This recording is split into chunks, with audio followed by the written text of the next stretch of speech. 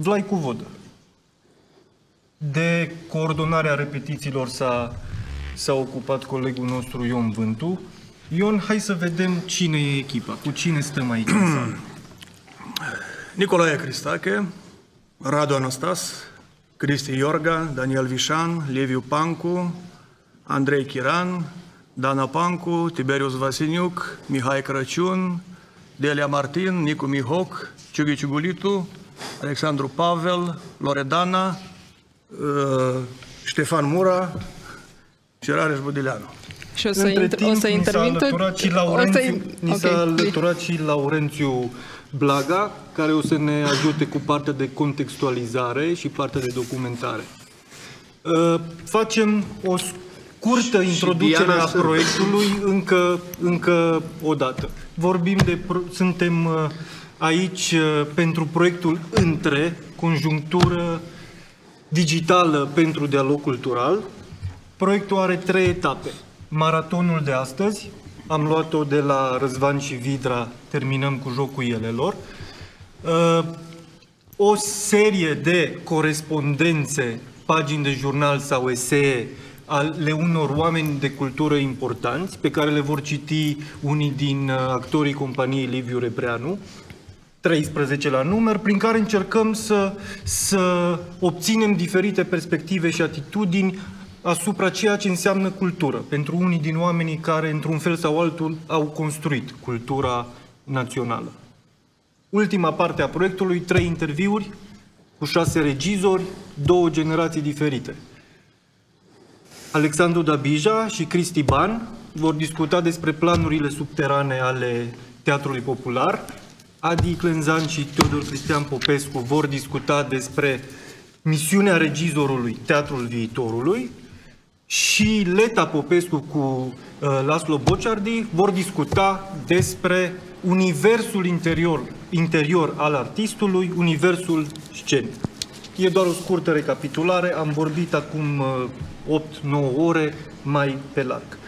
Diana, Și dacă hai mă să- ajuți să hai să să mulțumim vorbim și și despre oamenilor oamenii care și- ne-au ajutat să facem toată treaba asta. Exact. Uh, Proiectul este inițiat și produs de Asociația pentru Teatrul Liviu Rebreanu în parteneriat cu Teatrul Național Târgu Mureș, compania Liviu Rebreanu. Uh, Ni s-au alăturat și cei de la Universitatea de Arte Târgu Mureș.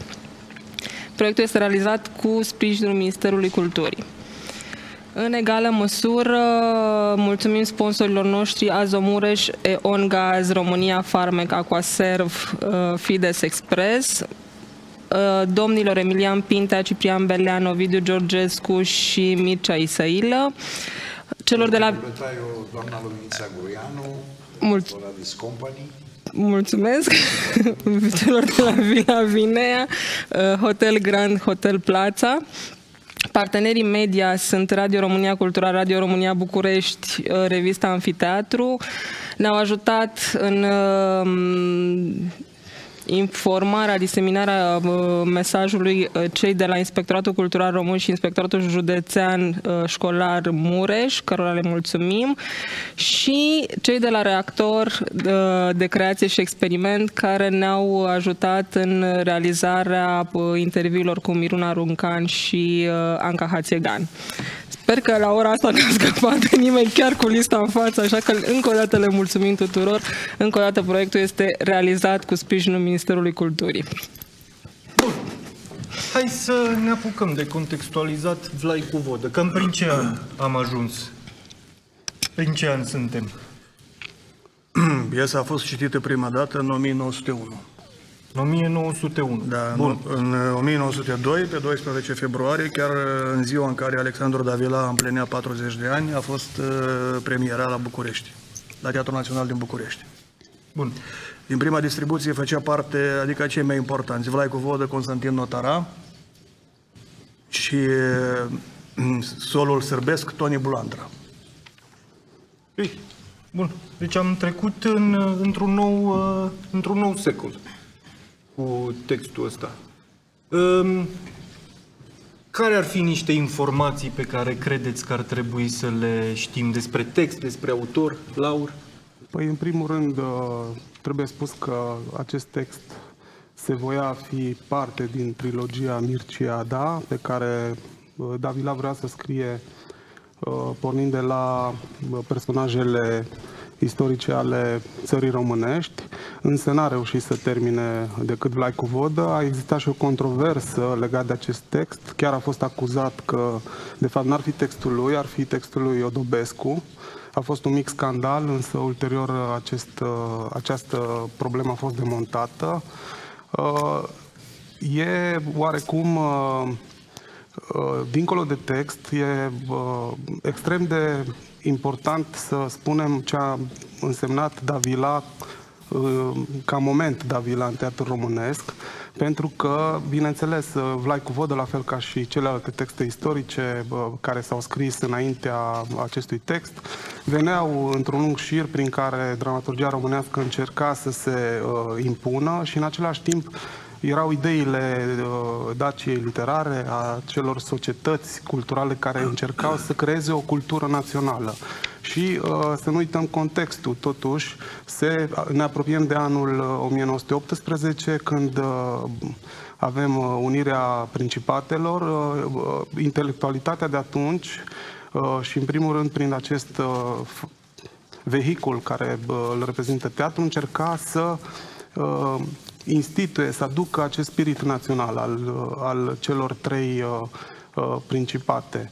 Uh, și dacă am spus de Davila, trebuie să, să precizăm că e o personalitate destul de contradictorie, dar uh, în ce sens? Uh, el uh, a făcut școala la Paris, uh, a avut un traseu profesional extrem de ciudat într-un fel, Uh, de la diplomat de carieră fiind uh, atașat uh, legațiilor României la Paris și la Londra, a ajuns la un moment dat să fie prefect de Tulcea, adică vă dați seama cam ce traseu a avut.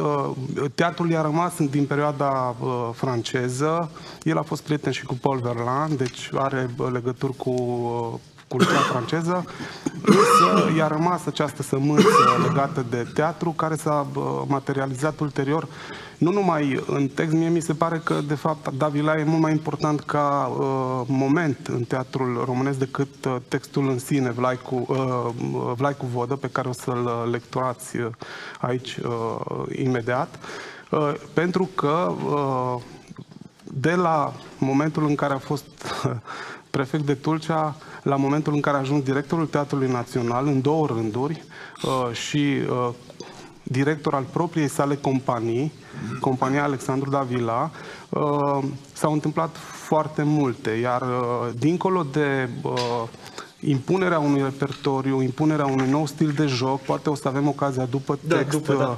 să povestim puțin despre aceste lucruri. Uh, Davila a, a fost și directorul de Direcției uh, Teatrelor Naționale și de numele său este legat uh, și aici mă bucur că sunt chiar doi oameni din conducerea teatrului, noi am mai discutat lucrul ăsta, de, de numele lui Davila este legat primul atelier de confecționat decoruri pentru teatrele naționale. Adică exista la București un atelier în care se confecționau decoruri pentru toate, toate teatrele, câte existau în momentul respectiv în țara românească și în uh, Moldova. De asemenea, Carol uh, Alexandru Davila, scuze, uh, uh, a inițiat cursuri inclusiv de coregrafie, cursuri de figurație, nota bene, Uh, și probabil, uh, dacă o să avem timp, vom discuta puțin și despre uh, ce însemna crezul lui teatral din punct de vedere al artei actorului. O și lăsăm, despre compania, o lăsăm, compania... Exact, o lăsăm okay. pe după. Mersi, Laura. Uh, înainte să începem, Ion, cum ar trebui să, să ascultăm lectura asta sau cum ar trebui să privim ce ce urmează? Avem nevoie de niște informații speciale? Uh, o informație, nu știu dacă informație, mie mi s-a părut așa, nu știu dacă am dreptate sau nu, dar uh, în piesa asta, bine fiind o piesă istorică și în perioada aia când a fost, uh, când se petrece acțiunea în 1370, se pare că naționalitatea conta mai puțin decât religia. Okay. Adică era mai important dacă ești ortodox decât român sau ungur sau... Uh, deci, dar era mult mai rău să fii catolic okay. decât să fii... Uh, ok. avem în minte asta. Câte personaje are textul? Multe. Multe. Noi, noi cât suntem? Uh, 5, 16, da? 16. Uh, Asta înseamnă că unii din colegii noștri o Vor, să juca citească... mai, vor, vor citi mai multe personaje, da. Trebuie să fim atenți la asta. Să, dacă e confuz, înseamnă că acel uh, actor a citit mai multe sau o să citească mai, Mm, da. mai multe. Ne înra- înarmăm cu răbdare, cu înțelegere? La ce ne așteptăm? Cu răbdare, că durează. Bun, păi dacă durează, eu te invit la masa de montaj și până Ion uh, ajunge acolo, eu aș zice să-i dăm drumul, să citim distribuția, să știm uh, cine suntem și ce facem. Vlai cu vodă de Alexandru Davila. Personagiile. Vlai cu vodă, domnul țării, Tiberiu Vasiliuc. Rumân Gruie, credinciosul lui, Nicu Mihoc. Mircea Basarab, nepotul domnului, Ștefan Mura. Costea Mușat, Radu Anastas. Banul Miched, Mihai Crăciun. Spătarul Dragomir, Alexandru Pavel. Groza Moldoveanul, Liviu Pam Pancu. Pracuviosul Nicodim, Nicolae Cristache. Pala Italianu, Rareș Budileanu. Baronul Caliani, Ciobor Ciugulitul. Vlad Opceanul, Cristi Iorga. Manea, Daniel Vișan. Alde Algiu, Andrei Chiran. Rumân Herescu, Andrei Chiran. Murgu, Cristian Iorga. Baldovin, Dani Vișan. Părcălabul Curții, Andrei Chiran. Solul Sârbesc, Cristian Iorga. Moș Neagu, Nicu Mihoc. Un căușel, Alexandru Pavel. Întâiul boier, Cristi Iorga. Al doilea boier, Andrei Chiran. Al treilea boier și întâiul moșnean, Daniel Vișan. Al doilea moșnean, Andrei Chiran. Un boier bătrân, Andrei Chiran. Clara doamna, mama vitrega lui Vodă și mama buna domniței Anca, Dana Pancu. Domnița Anca, fica doamnei Clara și soră despre tată cu Vodă, Loredana Dascălu. Sanda, autorul, Delia Bălașa. Un copil de casă, Andrei Chiran. Boieri, ostași, moșneni, etc. Acțiunea se petrece pe la 1370 la Curtea de Argeș. Actul 1. Teatrul reprezintă o poiană muntoasă și sălbatică de unde se vede Valea Argeșului. La mijloc, spre fund, tulpina scorburoasă a unui vechi stejar trăsnit. La dreapta, o stâncă mare, concavă, cu ștemi, buturugi, etc. E o seară luminoasă. Lumina lunii bate în mijlocul poienii. Scena 1. Pala, moșneagul. Scena rămâne câtva goală, apoi apare din stânga moșneagul, căutând culoarea minte. El face semn în culisă, de se arată și pala. Ei înaintează în scenă și se asigură că sunt singuri. Am ajuns, jupâne Pala, Drace, locul e fioros ca de vrăji. sau vrajbe. Iată și stejarul scorburos. De minune. Dar, Jupâne, ierte-mi se o întrebare. Ce pândești aici? Habar n-am. Banul zău. Mi se pare că te joci de-a hămișliul. Îmi șliu eu. N-am nici gând. Ce să aflu de la tine ce nu știu de mult? De când? De când casc la curte ochii. Decât să mă râzi mai bine, te-ai încrede și mai crede. Ce să cred? Ce se cuvine? Vino. Ia prin vește în vale despre târg. Ei, ce e? Vezi? Două umbre. Așa strânsă una de alta, de să crezi că ar fi numai una. Și apoi? Dar sunt două. E domnița Anca și cu Mircea Domnul. Ce spui? Amândoi din vița Basarabilor. Prea bine. Dar ce cată? Se iubesc. Ce? Nepotul cu mătușa? Ce e drept că se înrudesc. Și apoi? Păi, ei sunt ținta. Care e țintă? Deci, jupâne, că ei vin în coa, chiar unde stai la pândă? Mă, române, Ori ești hămișliu ca vulpea, sau grozav ești de nătâng. Ce, ce-i pasă doamnei Clara că doi bieți copii se strâng noaptea în braț? Atunci știu pe cine. Zău? Pe cine? Pe boieri. O fi. Stăpâne, oh, atunci amar de mine. Pentru dânsi ești vrăjmașul, veneticul, un lătin. Că deși de mult în țară ai rămas ce ești, străin, e străin jupâne pală. Mii de patime asmuțite stau la pândă, te înconjoară și boierii au cuțite ce ucid. Deși sub haină tu porți zale de oțel, za subțire de Milano împletită în mărunțel, baza bună în așa vremuri pentru omul doamnei Clara care în ciuda opidimei catolicizează țara. Moșule, tu ții cu dânsii. Eu? Că doar nu sunt român. Sunt maghiar ca Clara doamnă. Și apoi tu mi ești bun stăpân, dar îți zic, fă ochii în patru de boieri să-ți fie teamă. Din primejdii scoada când e taina mai de seamă. Am aflat și eu destule despre ce aștepți aici. Ce? Multe. Ești mândru că te vei învrednici să spui mâine Clarei doamnii ce au făcut aci boierii. Mândră e și Clara, doamna, azi, când frânele puterii par pe mâini ai fi lăsate de nevrednicul voivod. Mândră și papistășimea ce se fige prin norod. Și e mândru Caliani, ci și închipuie norodul că el toate le înstrunează, sfatul, doamna și voivodul. Toți mândri, toți sfalnici. O dă singur e smerit. Dar smerenia e umbră, ce de pismă l-a ferit. El mereu în ea se afundă și cu cernic purul tace, dar din umbră și tăcere vodă pace și desface. Îi ajunge ca să țină toate în mâna sa de fier să-l priceapă român gurie. Gurie ce nu-i nici boier, ce cu trăieră domnia și pe ascuns o rânduiește, ce pe ascuns gândește vodă și pe ascuns îi poruncește. Și desfrâne și să bale între voi, voi toți, și el, ea lui frâna, iar a voastră doar zăbaua de oțel. Astfel se rostesc bătrânii din adâncul cugetării, însă voi nu le dați seamă și tociți răbdarea țării și a lui Vodă. Taci, moșnege.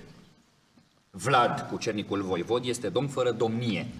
Și voivod fără norod. N-are oaste, n-are curte, abia streji. O mângâiere ca să-și dea măcar cu gândul care umbră de putere.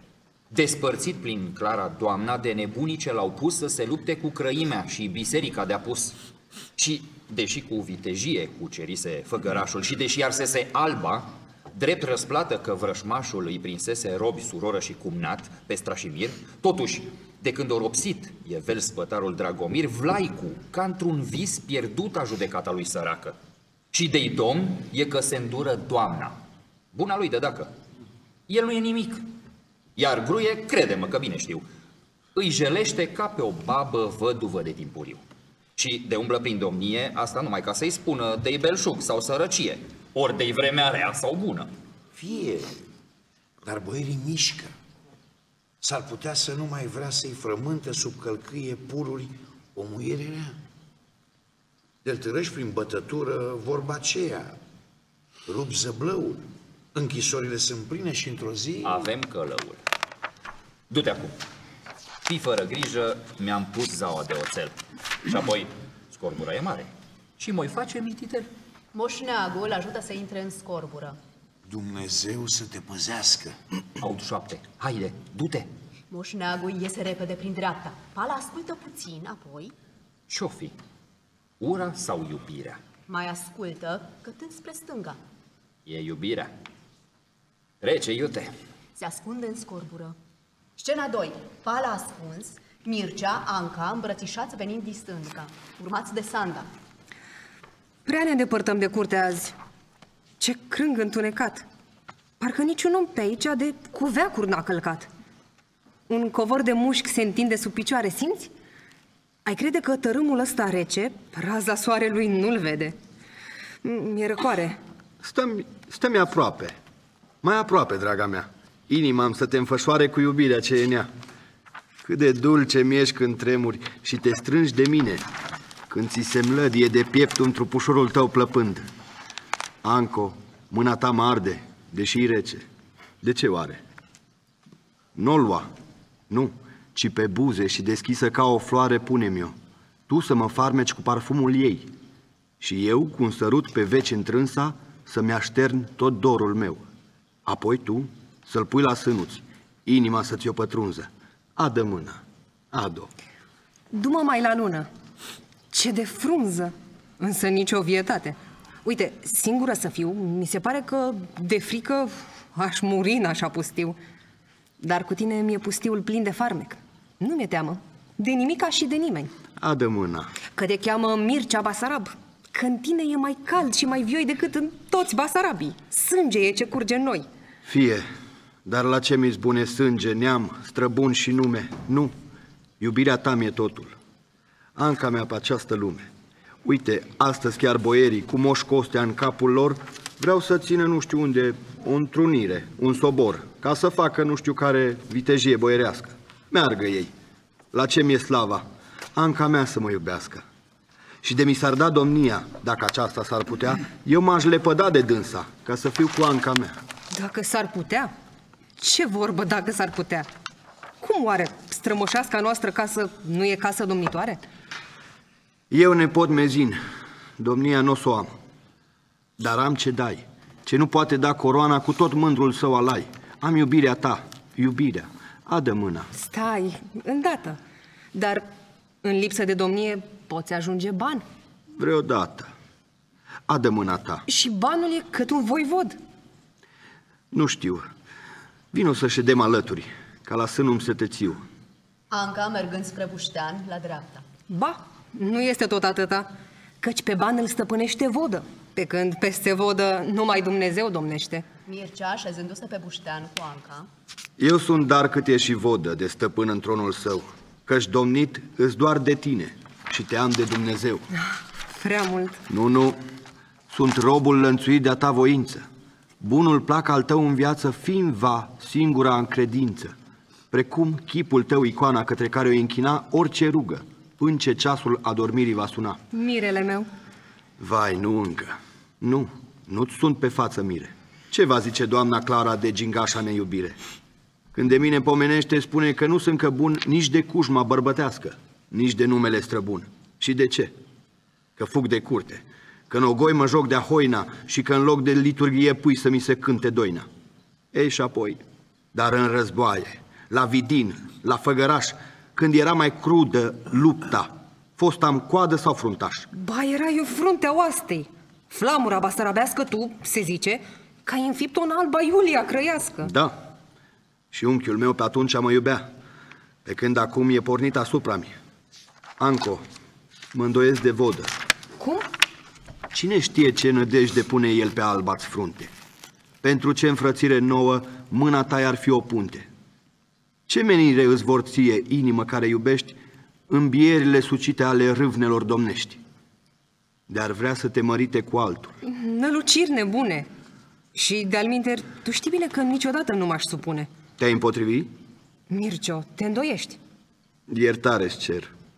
M-aș putea îndoi vreodată de luceafărul din cer, de adierile pădurii, de blândețea lunii line, și de soare, și de ziua, și de noapte, nu de tine.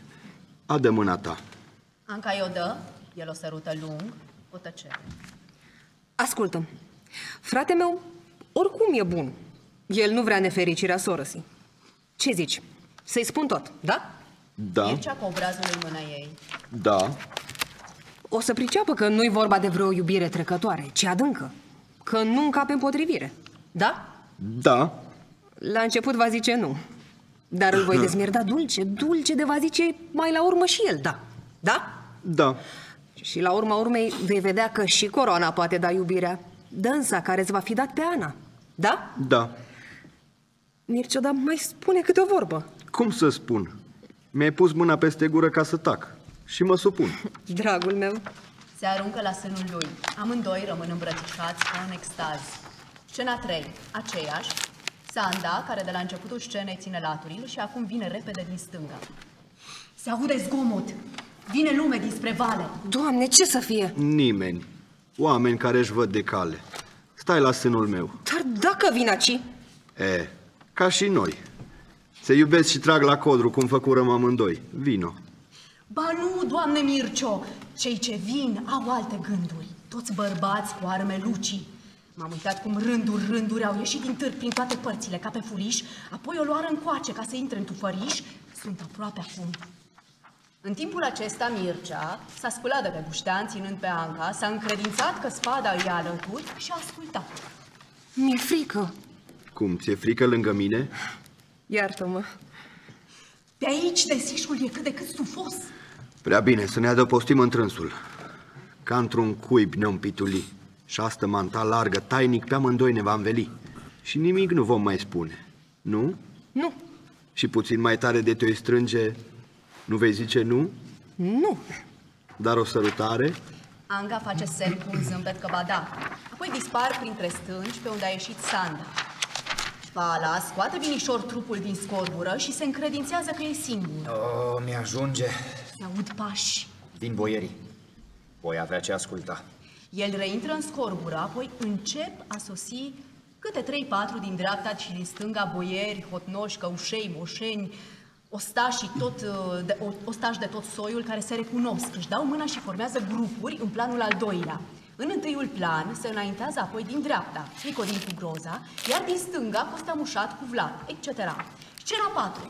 Pala ascuns, Groza Moldoveanul, Costa Mușat, Icumenul Nicodim, Vlad Ovceanul, Manea, Valdovin, Român Herescu, Alde Algiu, Murgu, Căușelul, Boieri, Hotnoci, Moșeni, Ostași, etc. Bun venit, boieri și oameni! Mă închin, Sfințiera, dar cu noi nu văd pe domnul Mircea. N-a avut să se vreme să-i spun locul întâlnirii. Și când trimisei să-l cheme, adineaurea plecase. Dar ne ajunge la un sfat. Să vei tu, jupână Costeo, capul neamului mușat. Mulțumesc, jupâne Grozu. Voi căta, dar vă spune pentru ce norodul vostru potrivit am să se adune azi, aci și în taină. Gândul, cerul el va cerceta căci cu noi e Nicodime, Sfânt Igumen, rasa ta. Mai întâi, blagoslovește. Toți se închină sub blagoslovirea lui Nicodim, apoi Costea urmează către Groza. De acum spune, Grozu, frate. Suferințele Moldovei, ce să vi le mai arate glasul nostru? Lați cu vodă un Michel, un renegat, către Ludovic și către Papa Urban s-a legat, să se închine lor. Crăimei cu domnia și norodul, iar papimei cu credința. Dar boierii și sinodul, credincioși în legea sfântă și în ohrida împărtășiți, răzvrătindu-se, vai, fură biruiți, măcelăriți.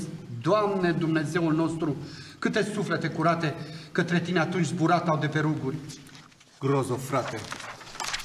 Eu scăpai, pribeat prin lume, fără pâine, fără rost, la căminurile voastre am aflat un adăpost. Pentru țara mea, Moldova, pentru legea creștinească, mi-ați întins cu nea frăția mâna voastră românească. De așa ci la obârcia neamului, ca și la noi, și a lățit papistășimea necuratului puhoi. Vlai cu vodă cam vremuri, harnic, priceput cu cernic către datina străbună, către Domnul Atotputernic, a obrăduit moșia pentru slava ei și a lui. Azi e robul doamnei Clara, prin urmarea craiului. Ea domnește și prin trânsa țara voastră românească a ajuns de o parte craiul, de alta papa să domnească. Da, așa ce da. La toamnă, patru ani s-au împlinit de când Vlad, voivodul nostru, a încetat a mai domni. Nu pot uita ce iute s-a învârtit a soartei roată. Vodă Vlad ducea război în Transilvania sculată, pretutindeni era țara curățată de vrăjmași. Hațegul ținea spătarul, Vlad era la făgăraș, iar voivodul Nicolae, frate său, cu o mică oaste, urmărea pe Micloș Herțeg în Ardeal cu spada în coaste.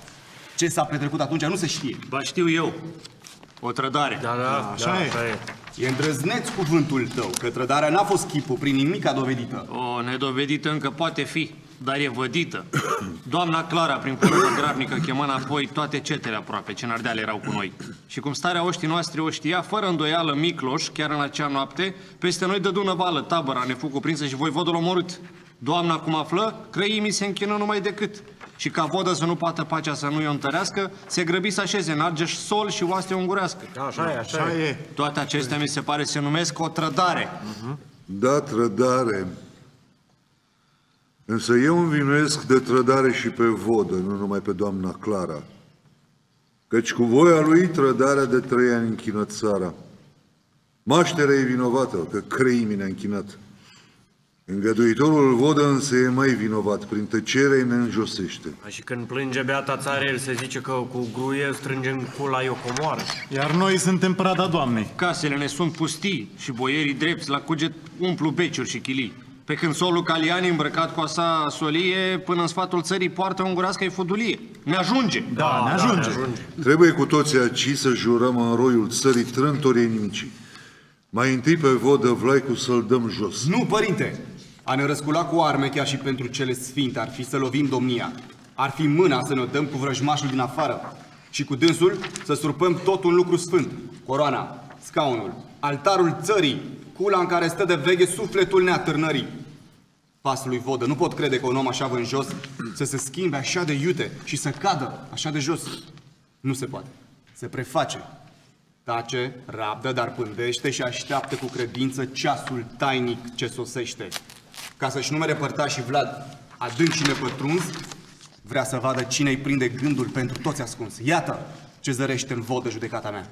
Mie mi se pare că te înșală vechea ta prietenie pentru dânsul, dar să zicem, ce rămâne de făcut? Lucrul e ușor. Pe față, noi să-i facem cunoscut că ați îmbrățișat cu toții cererea Moldovii mele. Pentru datină și lege că trăim și pentru ele că vom ști la trebuință ridica și voi și noi steag de răzvrătire în țară și în afară de război. Pricivând-vă pornirea vodă Vlad, o să înțeleagă că între voi și doamna Clara ceasul a sosit să leagă. Sau avem aceleași râvne și vom fi părtașii lui, ori de nu, el e vrăjmașul datinii și a neamului. Dacă Vlad e cum arată cele spuse aici de tine, Grozo, cererea Moldovei o va întâmpina cu bine. Da, sunt sigur. Și fiindcă cugetul ne e curat, că e ceasul ca să rupem taina ce ne-am fășurat, că voim ca steagul nostru sfânt să fâlfie la soare, că în sfârșit, în timp ca râvna, paloșul să ne măsoare, să jurăm aci credință. Boier, capitan, norod, celui ce am ales Moldovei și oștirilor voivod. Un flăcău iubit de vodă și în moșie, cu renume, domnul Mircea. Domnul Mircea? Mircea? Mircea? El anume. E viteaz. E blând. E darnic. E frumos. E drept. E bun cu românii. Nu se face apă sângele străbun. E deștept. E suflet mare care zilnic se mărește. Salcea de am se surpă, iar stejarul se întărește. Să jurăm lui Mircea Vodă ascultare. O jurăm. Dragi prieteni, noi de acum să ne înturnăm în oraș. Umblați cu grijă, nu purcedeți în grămadă. Căutați pe cât se poate, nimeni să nu vă vadă. Fii pe pace. Sfinte preot, dă-ne alduirea ta. Domnul e cu voi. Să mergem. Tot se descoperă și se închină. Costea către cei din scenă. Apoi ei încep a ieșit prin diferite părți, grupuri, grupuri. Groza mai la urmă iese după Costea și Nicodim prin stânga. Mana și Vlad ies prin dreapta, urmați și precedați de alții. Mana către Vlad, ieșind la dreapta. Vere, cine se aștepta ieri când Mircea bătea hoina și gunea cu noi ogoiul că astă seară va fi vodă? Așa, Vere. De acum roiul are matcă. Da, și din matcă am ieșit. Scena se golește cu încetul. O tăcere. Deodată, un căușel trecând pe lângă stejarul trăsnit, zărește pe pala, ascuns sub scorbură. Ho, cine stai? Ce? Ești din tulpină, diavole, ca ce te tai? Se luptă cu pala care vrea să fugă. Alții îi vin în ajutor. ce e acolo? Un om care se ascundea într-o tulpină scurburoasă. O iscoadă! Chiar. Scena s-a umplut repede din nou. În fund, mai mulți oameni au scos pe pala din scorbură și îl înconjurară. Scoateți-l la lumină! Cei din fund se urnesc ținând în scenă pe pala care se zbuciumă. Ține-l bine! Căușelul ținând pe pala de coate. Stai cu minte, draci, că te... Să nu dea dosul! Căușelul îngenunchind, îngenunchind pe pala sub lună. Ah! Toți se apropie să-l privească. E pala! Pala! Doamna Clara ne pândea. Da. Suntem trădați. Se poate. Să vedem. Pala răspunde. Ai venit aici trimis de doamna Clara? Da. De unde? De unde știa locul de întrunire? Nu mi-a spus. Ah, spune drept. E primejdie de moarte dacă minți. Nu mint. Aștept? Mi-a zis să mă ascund aici, într-acel stejar anume. Și să ascult. Și apoi? Urmează. Că o să vină multă lume. Cine? N-a spus. Minți! N-a spus-o, mă jur. Fie, dar știa. Nu știa. Mă jur pe mama. Nu, nu. Nici nu chipuia. Bine. La semnul lui Groza, boierii se trag la stânga și formează un grup. Ei se chipzuiesc. Apoi toți îl aprobă, afară de Costea Mușat, care se înfioară. În timpul acesta, ceilalți formează alt grup, mai la dreapta, cu pala în mijlocul lor. O tăcere. Pala către căușelul care îl ține. Lasă-mă. De ce mă strângi așa? Mă doare mâna. Ei scoada un guroi cei măre. Ne pândea bătrâna. Bine că ne căzun gheare. De noi bine, de el rău că ne știa taina. Cine știe multe, așa zău. Groza înaintând în mijloc. Ascultați-mă cu toții, căci primește e mare și se întinde deopotrivă. Deopotrivă, prin urmare, se cuvine să ne lege sfatul ce vom ține aici. Am jurat vrăjmașii legii nemino- nemilos ai nimicii. Am jurat pe vodă Mircea la Suceava că-l vom duce. Am jurat cu aceste brațe, ridicat-o Sfânta Cruce. Sfântul prapor a Ohridei, dușmanit de papistași. Și că blânda-i umbră viva, umbra morții de vrăjmași. Ah, cumplite sunt acestea. Sângeros e jurământul, că ne dă toate biruinței biruitului mormânt. Zis fu însă, vorba noastră vântul n-apucă să o ia și dușmanul cel mai crâncen, doamna care ne tăia. Dar iscoada de astă dată, însuși cerul ne-a predat-o. Taina noastră până acum doamna Clara n-a aflat-o. Chiar aici vom spune însuși, acest om nesocotit, mâine însă, chiar de mâine. Singur eu m-am osândit. Spuneți voi de acum, ce soartă va avea dușmanul vostru? Moartea! Moartea! Doamne Sfinte! Nu! Pe Dumnezeul nostru bun prieten nu-l ucideți. E o vină, vă zic eu, și o vină în cântarul veșniciei trage greu. Nu se cade ca în menirea ce croita ne-am senină să ne fie spada roasă de a păcatului rugină. Piaza e ca războiul drept și sfânt, ce l-am jurat, să-l începem cu vărsarea sângelui nevinovat. Ascultați-mă pe mine, bătrânețea mea pătrunde viitorul. Dar el mâine? Să-l închidem. Ce fel? Unde? În vreo temniță, departe. Mai departe, e în pământ. Pentru tine cea mai bună temniță e un mormânt. Nu-l ucideți! Pe noi mâine ne cruța vor papistașii? Un copil! El e vrăjmașul! Nu se caută vrăjmaș după vârstă! Ai de milă! Moarte! Moarte! Moarte! Inim crunte! Pata sângelui acesta să nu cadă pe la frunte. Moarte! Moarte! Moarte! Mai mulți se năpustesc împreună cu Groza spre grupul lui Pala și apoi scot pumnalele. Costea, înconjurat de Nicodim și de câțiva boieri, stau la stânga.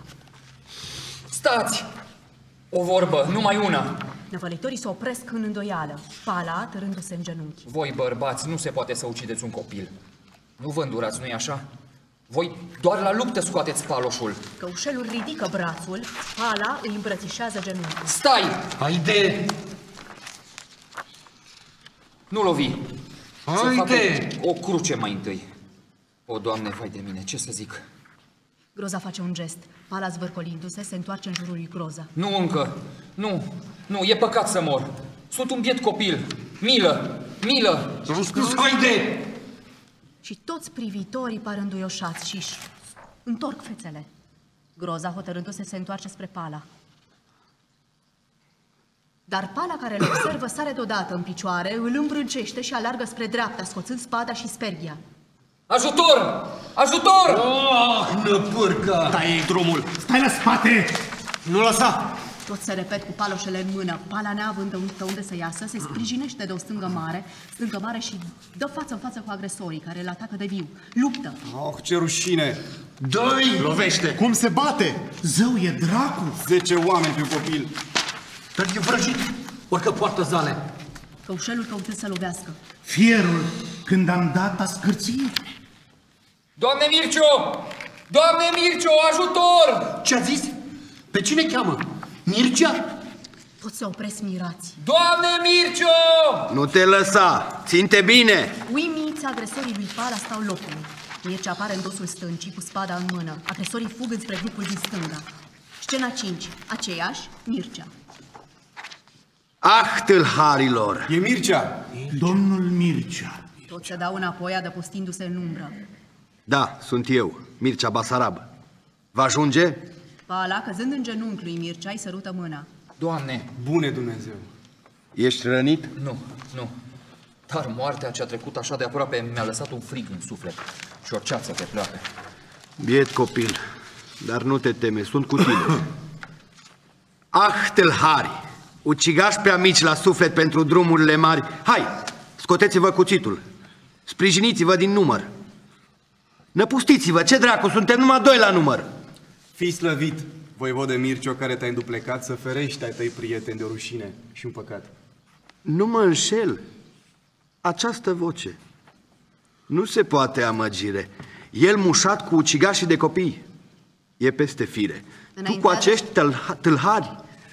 Ok. Înaintează și îl privește de aproape. Tu cu acești tâlhari. Îi privește cu damănuntul și recunoaște. O, Doamne, dar ce văd nu pot să cred. Cum? Drăgan, Algiu, vărul Vlad, nepotul lui Miched, tu, părinte Nicodime, sfânt igumen al Vlo- Vodiței, Baldovin, român Herescu, Manea, Murgu, floarea viței boierești. Dar ce însemnează? Groza, tu, Maria ta, știi că în împuternicirea aceasta noi avem a cerceta cum să nimicim vrăjmașii ce robesc într-o urzeală țara mea și țara voastră. Deci acei, fără sfială, dezvelitul ne-am tot gândul când deodată, la sfârșit, am găsit într-o tulpină pe acest pal apitulit. de scoada doamnei Clara, taina ne era știută. Mâine o, o afla și dânsa, ce să fac? Văzui pierdută cauza Moldovei mele. Și de-a purul nimicit, scopul falnic pentru care, fără tine, am muncit. Atunci eu, eu singur însă, fără altă chipzuire, neținând de nimeni seamă, luând orice învinuire pe al meu suflet, judecat-am pe prielnic un omor, ce era spre mântuirea unei țări și a unui popor. A, jupâne, e prea multă ură în dorul tău de țară. Dacă și nevinovatul e să poarte a ei povară, fii mai milostiv. Prieteni, de mă credeți, vom uita deopotrivă orice vină și necaz. Măria ta, Ce? Mai auzi această intitulare. Către cine o rostiți? către Măria ta. Către mine? Cum asta? Ți-am ales aici cu toții, ca în războinicul Izod spre Moldova, ei și nouă, Doamne, să ne fii voivod. Eu. Și toți aici cu mine, vodă Mircio, ți se închină. Eu voivod, voivodul vostru. Da. Pe fruntea ta, Sănină, mândra stema Moldovei sus și falnic va luci. O coroană, mie. Suntem toți ai tăi și toți aci. Am jurat că te vom duce peste brațe la domnie. Domn, Neamul ni-l aperi de-a papimei dușmănie. La ce încercări grozave, Doamne, pui tu robii tăi? Sau să pierd iubirea Anchi ca dușman al mamei ei sau coroana? Vai, coroana, nu mă ispiti, stăpâne. Anca, Anca, domnia, slava țărilor române, fica ei. Stai la îndoială, Doamne. Ce cereți voi? Cerem să slujești credința stăpânindu-ne pe noi. Domn. Isprava e ușoară, căci Moldova se frământă de la Argeș la Suceava, răsunava vorba sfântă, ca un trăsnet. Într-o clipă de, de poporul răsculat, săvârșit se va războiul fără luptă la palat. Anca mea, Dar acea vorbă naripată și grozavă ce-ar redeștepta iubirea de moșie și de slavă, dormitând în funde inimi care zac sub jugul greu, ce alt glas o poate spune, ce alt glas decât al tău? domn, eu domn. Primește! Doamne! Isprava e prea mare pentru un suflet așa tânăr. Ce pe lume abia răsare și de acum, abia paharul vieții a început să-l bea. Nu, Moldova e prea departe, nu mă las de țara mea. Oh. Cauza Moldovei e chiar cauza credinței.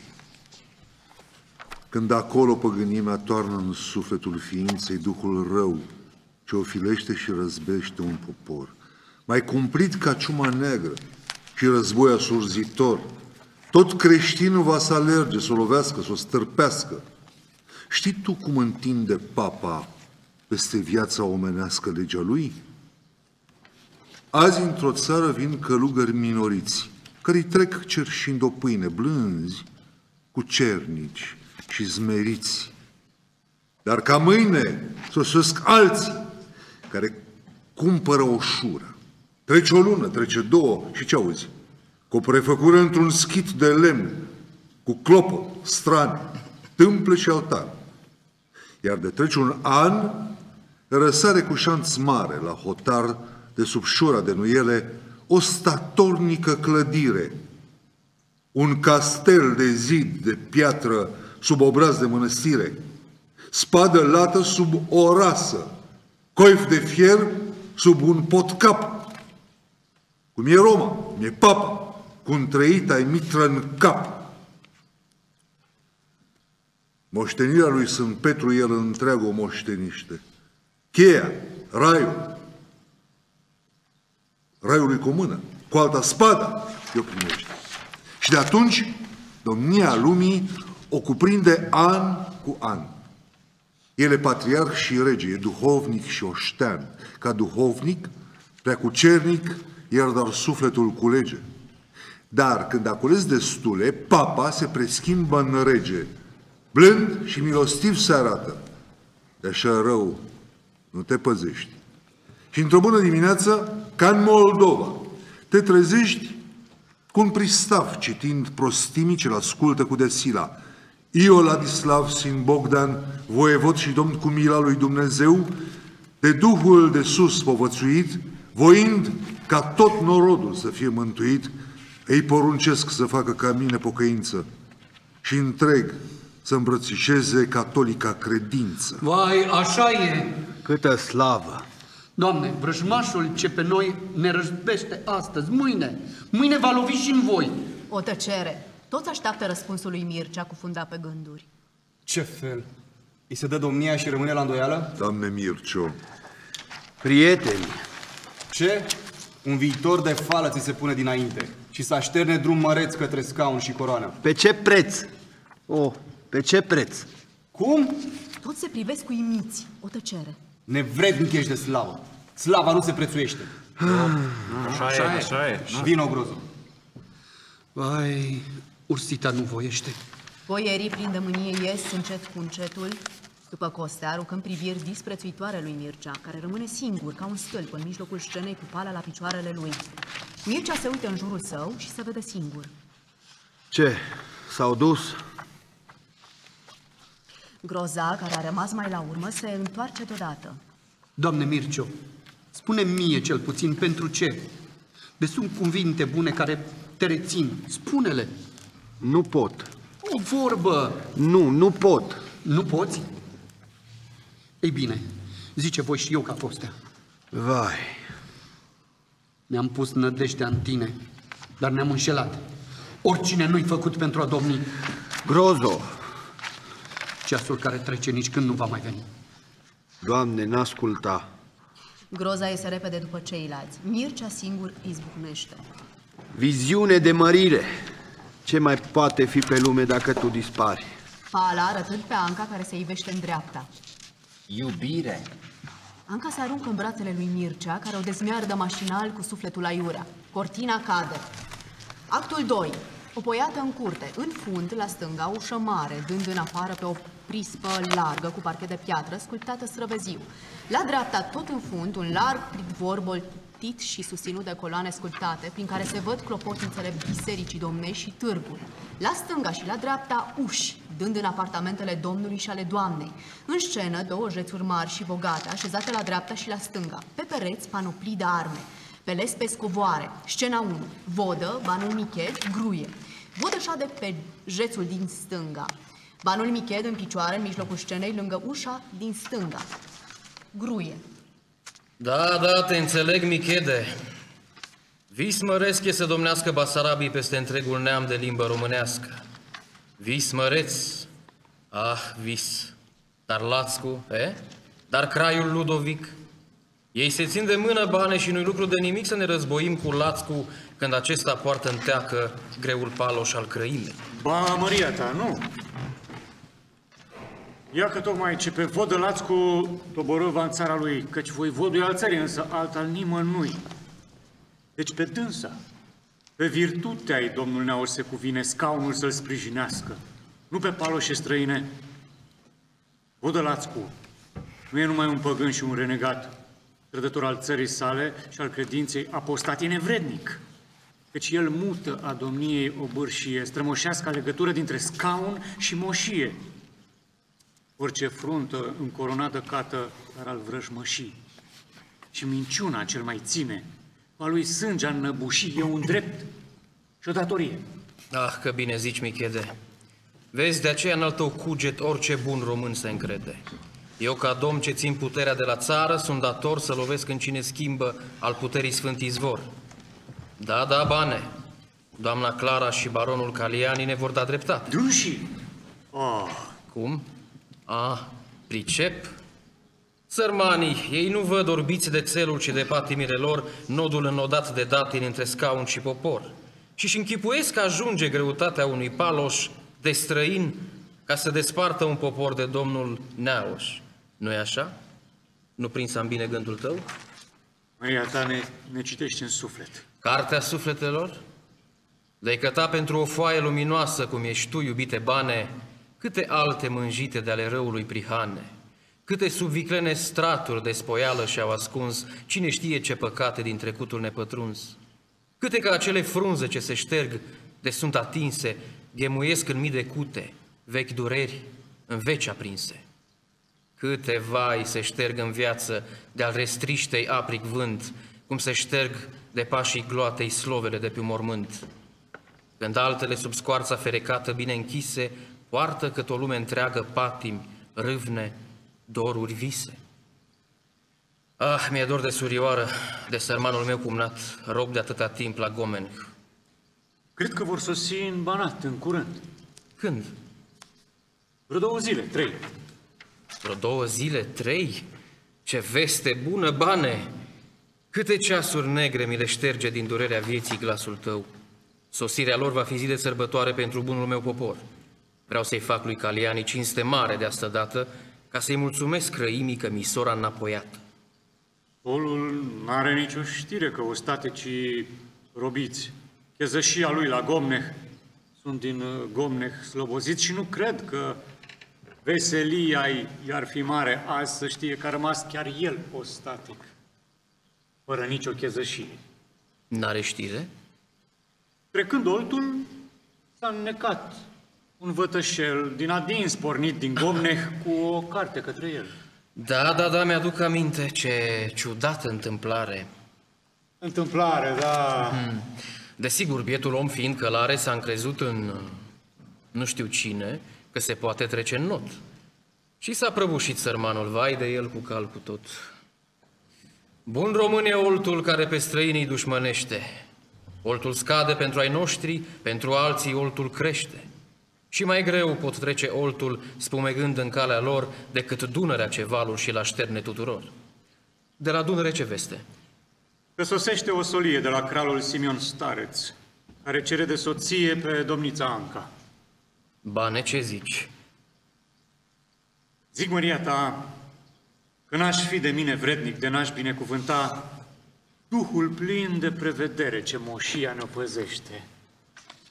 Pe ostatecii din Gomneh pe sub mână îi dobândește și astfel, dezbărat de ungur împotriva, a luat pe sub mână sprijin sigur de la noul aliat, ca măria ta să poată mai voinic decât vrăjmașul să păstreze cucerita țară nouă, făgărașul. Întâmplare. Fie mâna întâmplării dacă vrei, însă țara pe-a ta mână sărutava mâna ei. Nu te înșeli, Michede. Noua trudă, însă slava cerului blajin ce pururi ne-a purtat și ne purtava pe noi, orbi și sluți, pe drumul de prăpăstii mărginit, spre sfârșitul cel de taină pentru care ne-a menit. Aibă încredere în ursita țării tale, iar pe mine sfătuiește-mă, Michede. Ce m-aș face fără tine? Aturi. N-ai nevoie. Alta vrei să afli în robul tău. O credință mută, oarbă, a de sfânt în Dumnezeu. Într-o noapte de tăcere unde gânduri chipzuite urzesc țării viitorul, după dati proslăvite. Află dar în al meu suflet, scrisă ca în simbolul sfânt și neștearsă, ca de gloată slovele de pe un mormânt. Da, da, tu te încrezi în mine, dar mă judeci prea destoinic. Uite, Dragomir, spătarul zice că sunt mai războinic decât el. Ciudată treabă. Fiecare mă vedeți dăruit cu o însușire ce voi singuri o aveți. Vă înșelați și tu și dânsul. Și dovada cea mai bună e că Dragomir, cum vine, goarna de război răsună, iar că tu, când stai la curte, tace goarna de război. nu e așa? De pildă astăzi, de-ar fi Dragomir cu noi, el cu groza și cu costea, s-ar uni fără îndoială, pe când tu Pe cât se vede, nu le dai nicio învoială. Eu? Cu drept cuvânt. Ți teamă, ba de paloșul crăiesc, ba de lațcu, ba de doamna, ba de solul unguresc, ce ne înfruntă chiar aici cu un hotnog de saș călare. Ba și mai ales de oasta ce stă gata la hotare sub voivodul Micloș Herțeg din Ardeal spre a ne robi, de cumva cu calianii sau cu ai lui ne-am învrăjbi. Ce ne pasă? N-avem sprijin. Dacă o fi pe războită de la stareț, ce Nicopol strânge chiar de acum o știre. Și trimite deocamdată ca nuntaș cu solul lui peste o mie călărime. Toți boierii. Ce spui? Ce spui? Ah, sărmanul Caliani, l-au rămas cu fudulia. Ce solie? O solie mai măreață ca solia ungurească? Ca solia ce a trimis-o Ludovic? Ce zici, bane? Caliani va rămâne de nimic. Zic Maria ta că așa e. Mm. Ar fi o dreptate dreaptă să-l vedem pe Caliani coborându-se cu o treaptă de pe scara înrăuririi, ce a suit-o mult prea sus și apunând vremelnic soare într-un veșnicul apus. Că e vreme și de sfatul boieresc să ținem seama. Mm. Și că dacă azi se cade de ceva să-mi fie teamă, nu-i de doamna, nu-i de lațcu, nu-i de paloșul crăiesc, ci de fierberea ce crește, crește în trupul boieresc și în vederea slavei tale și în folosul legii sfinte. Spun că e bine boierimea spre Moldova să se avânte, nu așa? O fi michede, dar de stemeri de război, nu-i mai bine boierimea să rămână aici cu noi? Dar nu sunt temeri. Nu, desigur, până acum goarna tace, dar vreau liniște, Michede, cum o vrei și tu. Vreau pace. Nu vreau zângănit de arme care poate ar deștepta dincolo de munți dușmanul ce pândește țara ta. Pace, pace. Dar gândește-te că sunt cugetele aprinse, că privind la noi, boierii stau cu paloșile încinse și de vrajbă de se teme Domnul. Mai puțin e rău să se certe cu străinii decât cu norodul său. Ai dreptate. Cu străinii în Ardeal, sub munții țării, Palatinul stă la pândă. Și de mor lăsa boierii care pleacă la Moldova, n-am pe nimeni. Ba mai sunt. Cei ce zac în beciuri, Doamne, un prepus cuvânt, fără cuvânt. Sunt vrăjmașii doamnei Clara. Dar sunt robi măriei tale, care la un semn își schimbă lanțurile lor în zale și din turna, turma prihănită de robi jalnici și smeriți se prefac în ceată, mândră de ostași, nebiruiți. Crezi? Ei te înțeleg și în tine pun întreaga lor credință. Da, se poate. De fi astfel, ar fi bane cu putință să învoiesc și eu avântul.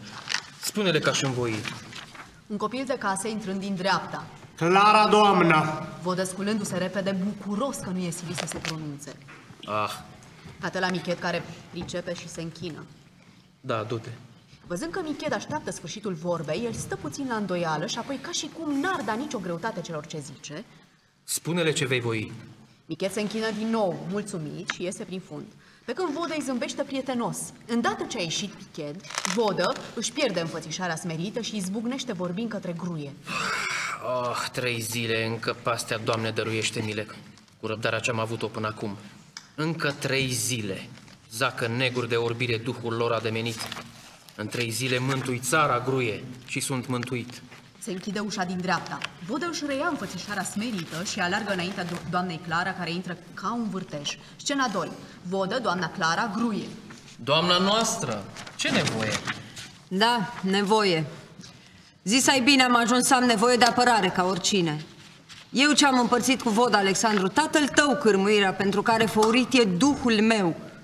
Eu ce porci pentru tine, mândra stemă basarabă, grea povară, pentru care biata-ți frunte e prea slabă. Eu ce sunt spre mântuirea ta și a întregului norod, eu de viță palatină, eu soție de voivod, eu, eu pavăză domniei, sufletul ce duce țara, eu puterea, eu stăpâna în sfârșit. Eu, doamna Clara, am ajuns de râsul lumii și al boierilor și al tău. Înfruntată, dosănită, o bagiocură. Eu, eu, Nu, nu înțeleg. E o rușine, nu înțelegi. E o rușine să ajung să cer un sprijin, fie chiar și de la tine. Tu ești domnul. Ești voivodul, fie. Datina o vrea. Dar puterea, cârmuirea eu le țin în mâna mea. Cine ți-o tăgăduiește? Cine, cine? Zău mă mir, sfatul tău. Miched acum, altădată Dragomir. Oropsitul ai pe acela că vrea război cu craiul, dar adusul ai pe acesta înapoi cu tot alaiul și acum el îmi e împotrivă. Orice fac, ce chipzuiesc, el desface și preschimbă, parcă nu mai cârmuiesc. Ce-am ajuns? Să stau de vorbă cu Miched. Miched. E banul Severinului. Ce-mi pasă? Clara, doamna Sieu. Sărmanul, ce-a făcut? Ce? Nu mai ține seama de porunca mea. Cum să-i poruncesc un lucru însă eu și să nu vrea să mă asculte el? Ce lucru? Orice lucru. Ce are a face?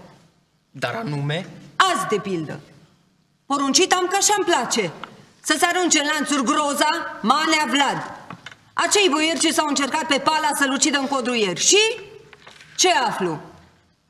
Că departe de poruncile primite, banul sprijină el însuși uneltirile orzite împotriva mea și a papii și a lui Lațcu, ba chiar și a ta.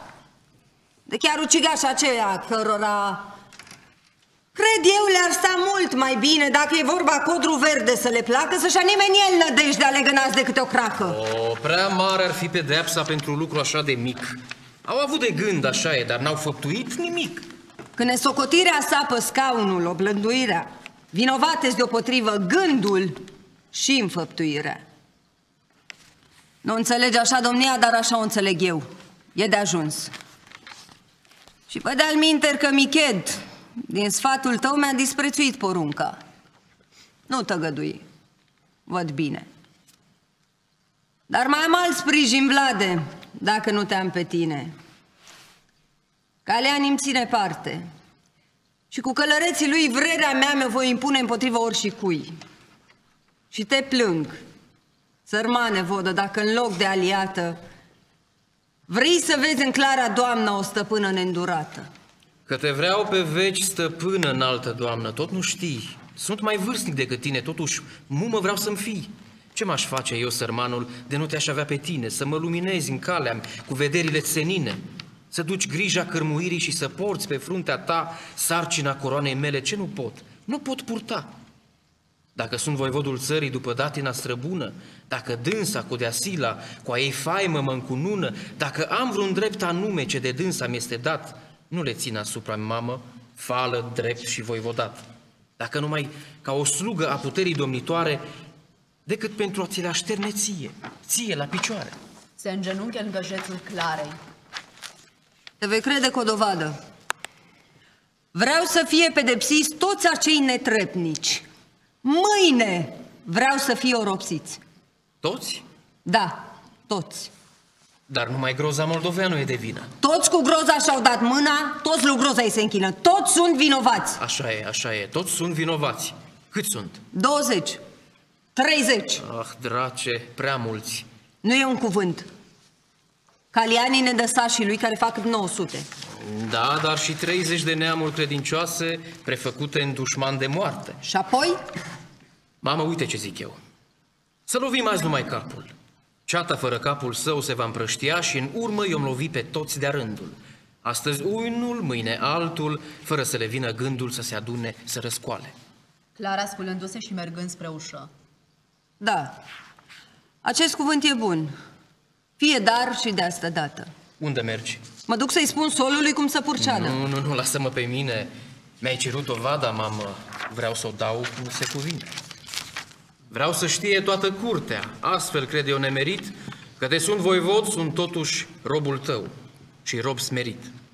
Că oricine în tine zvârlă cu dosadă și o cară, mă lovește și pe mine și cu mine întreaga țară. Și de un sprijin de ai nevoie tu, că nu-l vei cere oricui, că ce dreptul meu acesta, și că nu-l dau nimănui. Ai bine încredere. La urma urmei, Caliani poate... Fie, și apoi nu se cade de tot cerem călte toate. De când e la curtea noastră, tot mereu l-am supărat. Cereri, cereri. Care cereri? Multe. Nu l-am fost rugat să nu capete de pildă de la craiul său izbava celor zălogiți? Așa e. Cred că solul căpătava să ne-l dezrobească craiul. Dacă vrei, voi căuta să se facă cât de iute. Dacă vreau. Stă în mâna ta. Cum așa? Cum? Foarte lesne. Dă și tu cum ceri într-una. Ce să dau? Din câte cere Ludovic, măcar dă una. Una, da, le-aș pe toate dacă s-ar milostivi. Pe Cristina și pe soțul ei, în sfârșit, a izbăvi. Fă tu toate cum e bine, mamă, că ne apucă toamna. Baronul Caliani spune că l-așteaptă doamna. Vodă voind să se retragă. Mamă, eu... Ba nu, baronul vine foarte bine, zău. Să poftească. Îți va spune el ce vrea stăpânul tău. Scena 3, aceeași, Caliani în armură. Doamnă, ceata mea e gata. Nu mai e de trebuință. Vodă vrea să pedepsească însuși. Nu e cu putință. O, ce strălucite zale, ce coif mândru, ce pieptar, minunat, bătut cu aur. Dar ce brâu, ah, brâu rar. O mătase... E netoarsă. Nu mai trase în jurubiță și se sută cu beteală de argint în patru uiți. De minune! Vodă tocmai îmi spunea când a intrat că s-ar învoi la toate. Dacă craiul împărat ne-ar înapoia copiii, ceară-l prețul cât de mare. nu așa? Da, da. Ce cere craiul drept răscumpărare? Să-i dai voie să clădească un castel la Severin și împotriva ai să nu sprijin pe voivodul din Vidin.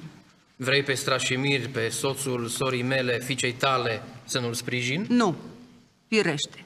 Fiecare cu ale sale. Strașimir e robul nostru pentru că s-a răsculat împotriva noastră. Iacă. Nu fiindcă e cumnat cu măria ta, dar astăzi libertatea și vidinul vrei să-i le tai. Prea bine. Noi îți cerem Severinul. E un schimb. Un schimb, firește. Da, un schimb. Atâta tot. Dă Hrisovul și sunt liber. Bine zici, dar vezi, nu pot să ți-l dau singur. E și sfatul, trebuie întăritură. Călăreții mei sunt gata și le șade bine armura. Ai dreptate. Adun sfatul. Și vom iscăli? Când vrei. Astăzi? Nu, nu, nu. Nici azi, nici mâine. Peste două zile, trei. Am de lucru azi. Așa e. Vodă sărutând mâna doamnei, apoi către Caliani. Mamă? Da, da, peste două zile, trei. Vodă iese prin stânga, sprijinându-se de gruie și zâmbind îndoielnic. Scena 4. Clara, Caliani. De acum Vlaicu ni s-a dat pe viață nouă. Despre mine, Severinul în sfârșit l-am dobândit. Dar smerenia lui Vodă m-a mirat. Eu sunt dit. Neavând în sine Duhul ce prevede și ce mână de alții pururea să fie, ca orbeții dus de mână. Împotrivă ne aceea până acum l-au condus. Însă nu-l vor mai conduce. Cred și eu. Dar ei l-au pus, doamnă, până una alta să dea mâna de încuscrire, deci de o alianță strâmtă întemeiată pe înrudire cu voievodul Simon Star. Simon Stareț? Ce fel? Cum? Cine a născocit aceasta? Îți spun, doamnă, că e pe drum o solie de la cralul Simon Stareț, ca să ceară de soție pe domnița Angra. Fica mea? Aseară am primit în științare că din niș a și pornit din adinsul sol de cralul Simon împuternicit. Oh. Și crezi să aibă vodă cunoștință? Nu știu bine. Dar de acestea să se facă fără știrea lui, nu vine zău a crede. Ai dreptate. Dar dacă m-a înșelat Vlaicu, Vlaicu într-atât ca singur el să fi luat și ascuns așa măsură, de așa mare greutate, care leagă neamul nostru, care leagă două state, de se pune în curmezișul drumului ce eu urmez, îl, îl nu știu, sunt în stare să-l... Oh. Da, iures. El n-ar îndrăzni, nu, nu, bietul om n-ar îndrăzni. Solia totuși a pornit. Dar fără știrea lui. Pățărnicia prea ar fi grozav de adâncă și... Și de-l mai aș îngrozi dacă în stare ar fi de aceasta neclintită a neurzi. Nu, nu e cu putință, nu e. Poate n-are știre, dar stare se cere pe domnița. De asta nu mă tem. S-o ceară cât o vrea. Am eu mijloc care va zădărnici toată uneltirea. Pala! Să chem aici pe domnița Anca. Fica mea e fica mea. Va face ce voi zice. Tu dă drumul cetei tale, fi pe pace. Dacă vlai cu noadă firul, mă pricep eu să-l desnod. Vino mai târziu când curtea se primește de voivod. Caliani se închină și iese. Scena 5. Clara doamna, domnița Anca. Ah, de vorba de trădare, vlaicule. Ia bine seama. Ești bărbat, iar eu sunt femeie. Anca intrând din dreapta. Poți să mă cheme mamă? Clara așezându-se pe jețul din stânga. Da, mezina mea iubită. Hai vino încoa să te sărut. Șezi aici. Anca se așează pe o pernă la genunchii ei. Niciodată, Anca mea, nu mi-a părut mai învoltă, mai frumoasă, mai, mai gingașă, mai zglobie decât astăzi. De ochii zgaleși ca de zarea conabie zorile de zile bune, dezbărându-se de abis tainic, ți s animă gândul legănând în el un vis. Nu-ți abate ochii. Taina ce mi-a ascuns e prea ușoară. Visul frage ce se scaldă într-o privire de fecioară ia vieții îmboldire. Ia vântul către zbor al oricărui suflet tânăr, tresărind de întâiul dor. Nu-i așa, copilă? Mamă... Te roșești? Na, nu. Zâmbește mamei tale, care știe că iubești. O, nu. Iubește. Dacă inima ți-o cere, Anca mea, iubirea ta este dreptul tinereții. Și nu eu aș căuta nici să împiedic primăvara să dea flori în florirea, nici să împiedic tinerețea să dea inimii iubirea. Dragă mamă. Da, iubește. Dă-ți iubirii sânul tău. Ți-ai ales un mire vrednic de al tău suflet și de al meu. Mamă, mamă, știi? Da, toate. Vezi? Ar fi părut mai bine așa veste să nu o aflu numai de la tine. Și o încredere mai mare să te văd că mi-o păstrezi. Dar așa mă înveselește și mai mult chiar decât crezi, Anco, că iubești pe Mircea. Încă tu uite de bucurie că nu te-ai gândit iubirea -ți. Mai întâi să mi-o spui mie. Iartă-mă, măicuță dragă, iartă-mă. Noi ne temeam să nu vrei. De ce? Ancuțo, doar pe tine te mai am să-mi alin mâhnirea vieții prăvălind spre bătrânețe. Voi să stați aici cu mine, calda voastră tinerețe, sufletul să mi-l dogoare. Vrei? Oh, cât de bună ești, cât te vom iubi cu Mircea, mamă! Bine, tu iubești, dar el te iubește? Mircea? decât orice pe lume, decât scaun și coroană, decât slavă și renume, tot mai mult. Prea bine. Mama, e la ușă. Cine? Da? E îngrijat, nu știe. Cheamă-l. Ah, cât te vom dezmierda. Ea aleargă la ușa din dreapta, se deschide și cheamă. Vino, mama ne unește. Scena 6, aceeași, Mircea. Mircea intră repede și îmbrățișează pe Anca. Anco, Apoi aleargă la doamna Clara și îi se închină. doamnă, mamă, Mamă, da, copile dragă, când iubirea ta mă cheamă mamă, vreau să-ți fiu. Aseară fost ai vrednic, Basarab, ținând piept celor puternici, ținând parte celui slab. Ai plăcut întotdeauna, deși însă câteodată mi-ai părut ușor la suflet și de o fire cam ciudată. Prea nepăsător de toate, prea pornit pe desfătări și nesocotind menirea ce dau eu acestei țări. Dar ești tânăr, înalt la suflet și ți inima cinstită. Un sfârșit de acestea, viața poți să o afli fericită și măreață chiar, cu vremea călăuză de măiei. Deci, iubiți-vă voi. Restul mă privește, dragii mei. Îi sărută pe amândoi și iese prin dreapta, întovărășită de ei până la ușă. Scena 7. Mircea, Anca. Anca mea, De acum, iubite, sunt a ta. e cu putință? E nevrednică de tine, păcătoasa mea credință. Pentru ce? Simt nevoia să ți-o fi mărturisit ție, vin această seară Duhul mi l-a ispitit. Te iubesc, o știi, Ancuțo. Fără margini mie iubirea. Acest simțământ îmi umple, îmi pătrunde toată firea și n-aș fi crezut vreodată să mai aibă pieptul meu loc de vreo simțire nouă, fiind plin de dorul tău. Dar aseară, când sub ochii mi se făcu să licărească vrăjile coroanei, culmea, pentru o frunte omenească, mi-a pierit vederea, judecata mi s-a întunecat, o ispită, vai, Ancuțu, sufletul mi l-a mușcat. Mi-am uitat iubirea, te-am uitat pe tine, da, pe tine, și am făcut alt vis, o clipă, doar o clipă. Mi-e rușine de acea clipă. Oh, nu, Mircio, visul tău a fost măreț când ai prețuit iubirea pe un așa de mare preț. De n-ai da-o astă noapte pentru scaun și coroană, mie vis să-mi cer iertare? Ție, eu să-ți fac dojana? Nu, nu, de vină e acelea de va fi să fie iertat, e de slava ta, de care pentru amor te-ai lepădat. Și de-ai fi tu, Basarabe, azi să simți aci rușine e că, mai presus de slavă Mircio, tu m-ai pus pe mine. Anco, Anco. Da, iubite, mult mai mult azi te iubesc. De tot prețul jertfei tale, cată să te răsplătesc. Farmec al iubirii, vrajă plină de lumină, ce fac dintr-un rău un bine și o slavă dintr-o vină. Ei stau un moment strâns îmbrățișați în tăcere. Dar ușa de fu- din fund s-a deschis, un copil de casă anunțând. Curtea! Duce și Anca să desparcă din ghis și se duc spre pivor.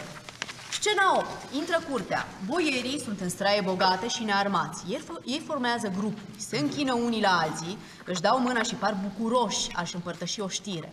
Mai la urmă intră Groza cu Vlad și ceilalți, mai apoi Costea și fiii săi. Un boier, zărind pe Groza, se înaintează repede spre el, urmat de alții. A, jupâne grozo, din adânc te fericesc de învoiala dobândită de la vodă și doresc să mă numeri și pe mine în oștirea boierească ce sub costea la Moldova duce legea strămoșească. Amarcaș, 30 și gheoage și mai multe. Ceata mea e călare. Poartă suliți și de lente de curan solzite în fier și ramă buzdugane năstrugite cu mâner de corn. Jupâne, eu îți dau securi călite doar în apă neîncepută, apă vie de izvor. Nu e papăză să nu se sfarme sub ciocnirea lor când flăcăii mei le aruncă hăulind. Eu, zece care cu opt junci, răniți în pajiști, bun de jug și de mâncare, și încărcate toate zece cu mălai și grâu bătrân. De n-ar fi înghețat-o vârsta, ți-aș da inima din sân. Groza dă mâna cu ei rând pe rând, mulțumindu-le. Intrând Costea, toți îl înconjoară, îl fericesc, etc. Ei formează un grup către fund, în acest, răstimp, în acest timp însă intră din dreapta Clara Doamna, Caliani, Pala, Jupânese, etc.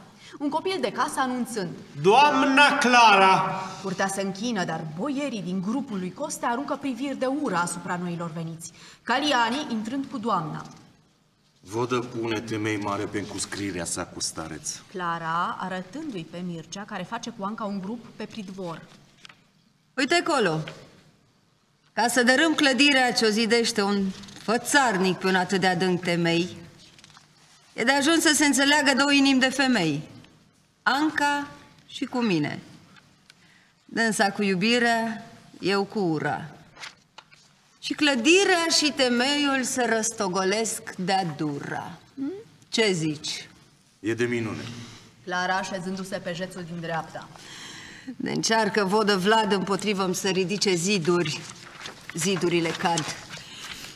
Și sub pietrele și colbul din clădirile surpate s-or afla cândva voivodul și coroana sfărâmate. O scurtă tăcere ca de așteptare. Se deschide ușa din stânga. Un copil de casă... Vodă! Intră vodă urmat de Michet și de toți marii dregători. Bun venit cu toții! Curtea se închină. Vodă merge la jețul unde șade doamna Clara și sărută mâna. Doamna noastră, Fiul meu, Vodă, după ce s-a așezat pe jețul din stânga către curte, voind să dea impresia că nu se ocupă de politica externă. aflu, dragi boieri, că e timp, a dat bunul Dumnezeu an mănos în țara noastră, că păturile sunt pline de bucate, că în podgorii viile se arată în bine, că în sfârșit livezi și lanuri din senin, cum și din plug, slavă Domnului sunt toate bucurie și belșug. Așa spune gruie. dacă țara e pe veselie, dă prilej și curții tale. Astăzi veselă să fie. Bucuros? Domnița Anca, fica mea și sora ta prea iubită, este de acum în vârstă de a se mărita. Și de vrei să fie astăzi de mare mulțumire, îi vom da domniței Ianca pe alesul ei de mire. Te uimești? Da, desigur, doamne, cum n-aș fi uimit. Așa știre dată astfel în vileag. Fii liniștit. De n-ar fi ales copil la mire vrednic de o domniță, lăstar mândru, ce răsare din chiar mândra voastră viță. Și de nu, de nu ne-ar fi el nouă, cum e și dân și drag. N-aș fi dat eu Clara, doamna, așa știre în vileag. Încet către Caliani, care stă la stânga jețului ei. Aveai dreptate. Vezi-l cât e de uimit. Către vodă. Ei bine, nu mă întreb pe cine a ales fica mea? Ba da, pe cine? Iată-l! Mircea! Da, el însuși. El, viteazul tău nepot, căruia cu drag ea zice, fiul meu. Vai, vai, de un ciot să se potricnească, Doamne, viitorul țării. Anca, care a venit în dreapta jețului mumei sale. Mamă, de ce tace vodă? Vodă tace că, de bună seamă, n-are nicio împotrivire la căsătoria ta. Nu-i așa? Ba, chiar așa e. Totuși, muma va ierta dacă fratele ce în suflete cuprins de bucurie vrea să ceară de la vodă pentru așa căsătorie o părere chipzuită. Dar ce ai de chipzuit? Mircea pe Anca o iubește. Și de ea el e iubit, el e basarab. Ca tine, ce mai vrei? E cinste mare ce râvnește el. N-ajunge să gonească de-a călare cerbul, lupul sau mistrețul, sau să, să săgeteze în zbor vulturul sau să încolțească urși în vizuina lor. Nici n-ajunge când vrăjmașul pune ochii pe moșie, să încingi paloșul pe zale și să lupți cu bărbăție. No, n-ajung aceste toate ca să fii vreodată drept, să ridici până la dânsa dorul tânăr ce ai în piept. Anca nu e numai sora mea și fiica doamnei Clara. E a țării și pe dânsa nu mărită decât țara. Numai țara va alege Anchii ginerele ei și-l vrea domn. Fii domn tu însuți, soțul ei să fii de vrei. Mamă, mamă! Caliani, vezi-l cum se dezvelește. Dacă țara, muma Anchi, ce prin gura ta vorbește, vrea pe fruntea mea de mire o coroană ca a ta, o voi dobândi. Ca Anca să-mi ajută a o purta. Mă îmboldeai adesea în vremuri să vreau slavă și mărire. Eu nu le voiam, că în mine nu încape decât iubire. Dar iubirea, ce visasem într-al fericirii somn, e prea sus de mine? Fie, pentru ea mă face domn. Costea, Groza, Vlad, Algiu, mândră ceată boierească, mă mai vreți în capul vostru? Să trăiască Mircea Vodă! Să trăiască Mircea Vodă! Mircea Vodă! Da! Pristana ce ne-ai dat, dă Moldovei domn pe Mircea și lui Mircea voi voda. Să trăiască Mircea Vodă! Ce zice? Ce trădare! Le dăduse și pristană, Caliani. Prin urmare, Vlai cu Basarab voievodul, ce alianță a jurat cu voievodul din Moldova și slăvitul împărat Ludovic, stăpânul nostru, azi pe față îi trădează și la curtea sa din Argeș, pe rebeli îi înarmează? Oh, trei zile. Să se știe. Boierii, care au ascultat întâi cu surprindere cuvintele lui Caliani, încep a murmura și privesc solul cu amenințare.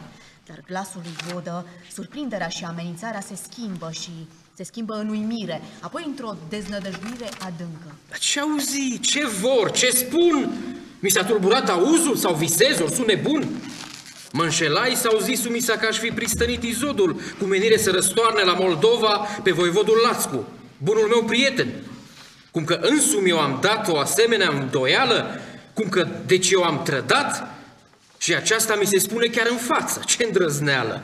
Cine a zis că am dat eu vodă o asemenea învoială? Cine? Vreau să știu. Maria ta. Tu, Grozo. Cine, tu? Dar de unde născocirea aceasta? Cum îți-a bătut să te încerci cu mine față, să strecori așa minciună? Doamne, eu... Că rostită astfel lumea să-ți o ia de bună și să creează că în izodul ce sub mână lunelteai, însuși pe voivodul țării de tovară și-l aveai, astfel că primit la curte de miloasa mendurare, mă făceai încet cu încetul o unealtă de trădare. Oh, ce viclenie! Doamne! Taci-ți spun că ai mințit. Când ai zis că vreo pristană, ție eu ți-am slobozit. Dar n-am spus că chiar din gura însă și a măriei tale. Da, da, îndărât acum. Încolțit, găsești cu cale să arunci vina ta pe altul. Doamne! Dar nu vreau să știu. Nu-i scăpare în mișelie, ești de vină și te țiu. Pârcălape străjuiește-l. Vreau de obște să se vadă cum Vlad Basarab, voivodul, pedepsește o dosadă. Du-l în temnița din culă ce prin ușa de stejar dă în odaia mea. Acolo-i voi fi chiar eu strejar. Groza, însoțit de pârcălap și înconjurat de streși, este prin stânga. Vodă urmează către Mircea și ceilalți. Iar tu și voi, tovarăși ai dosadei făptuite și tovarăși mai cu seamă înzăvistii ticluite, împotriva unui vodă mie aliat cinstit, ar fi drept de moldoveanul să nu vă fi despărțit. Ca precum porneați cu dânsul uneltirile rebele, să purtați tot timpul astăzi lanțurile mele. Dar din ruga Doamnei noastre, sufletul lui e prea bun. Uit și iert, ca fiu cucernic, dar se cade să vă spun, nu ca domn. De acum, Doamnă, spune, ți este potolită supărarea? Și de fiul tău smerit ești mulțumită? Te-ai ținut de vorbă, Vlade. Ești fiu bun. Vodă îi sărută mâna și pornește spre stânga, Boierii mei, pace vouă. către Michet. Vino, bane. Michet se apropie de el mirat, dar Vodă îi zâmbește prietenos. Apoi, pe când curtea se închină, el iese sprijinit pe Michet și urmat de mari dregători, îi zice până aparte, dar și pentru Michet. Oh, trei zile, încă trei. Cum a ieșit Vodă, o mișcare ca de ușurare se face printre curteni. Anca, pe care o năbușă plânsul, se aruncă la sânul mamei sale. Mamă! Anca mea, n-ai grijă de nimica. După ce Anca a ieșit prin dreapta. Caliani, vino să croim de lucru șarpelui de Vlad. Iese cu Caliani, tot prin dreapta. Curtenii încep a porni spre fund, lăsând locul grupului lui Mircea, bătut și încremenit. Sărmanii, într-o clipă se dărâmă ca din trăsnet visul lor. Ce vis mândru! Niciodată n-a fost astfel vodă. Mor de necaz că sfatul doamnei iarăși l-a răpus. A, vere, vai de omul ce zăbunul și îl împarte cu muiere. Curtenii ies cu toții. Grupul lui Mircea a rămas neclintit. Scena nouă. Rămași singuri, conjurații se întreabă din ochi. După o tăcere, Vodă Vlad trădează legea. Neamul, țara. Și a pierdut dreptul la credința noastră. El pe groza l-a vândut papistașilor. Și mâine ascultavăm cu Deasila, Io Vlad Sin Alexandru Voievod și domn Cumila, Jurământul ce împotriva Lațcului, ieri, l-ați jurat, îl veți ține și împotriva Vlaicului? Neîndrecat. Haide, dar. Nu, prieteni. Ieri juram o războire sfântă, iar ce faceți astăzi e cumplită răzvrătire. Am jurat. Veniți la mine astă seară. Vom veni. Pe diseară. Mircio, Mircea îi răspunde printr-un gest hotărât și iese prin fund, urmat de toți boierii. Costea încearcă zadarnic să-l înduplece, apoi rămas singur în aparte. Doamne, de-am știut îmbătrânind cu cernia credinței și cu sufletul pe față. Mă ferește de o ispită. Mă înarmează cu o povață să nu fiu nici lor, nici țării, nici lui vodă trădător. Și să-i scap de o crimă, Doamne, și pe domn de ură lor.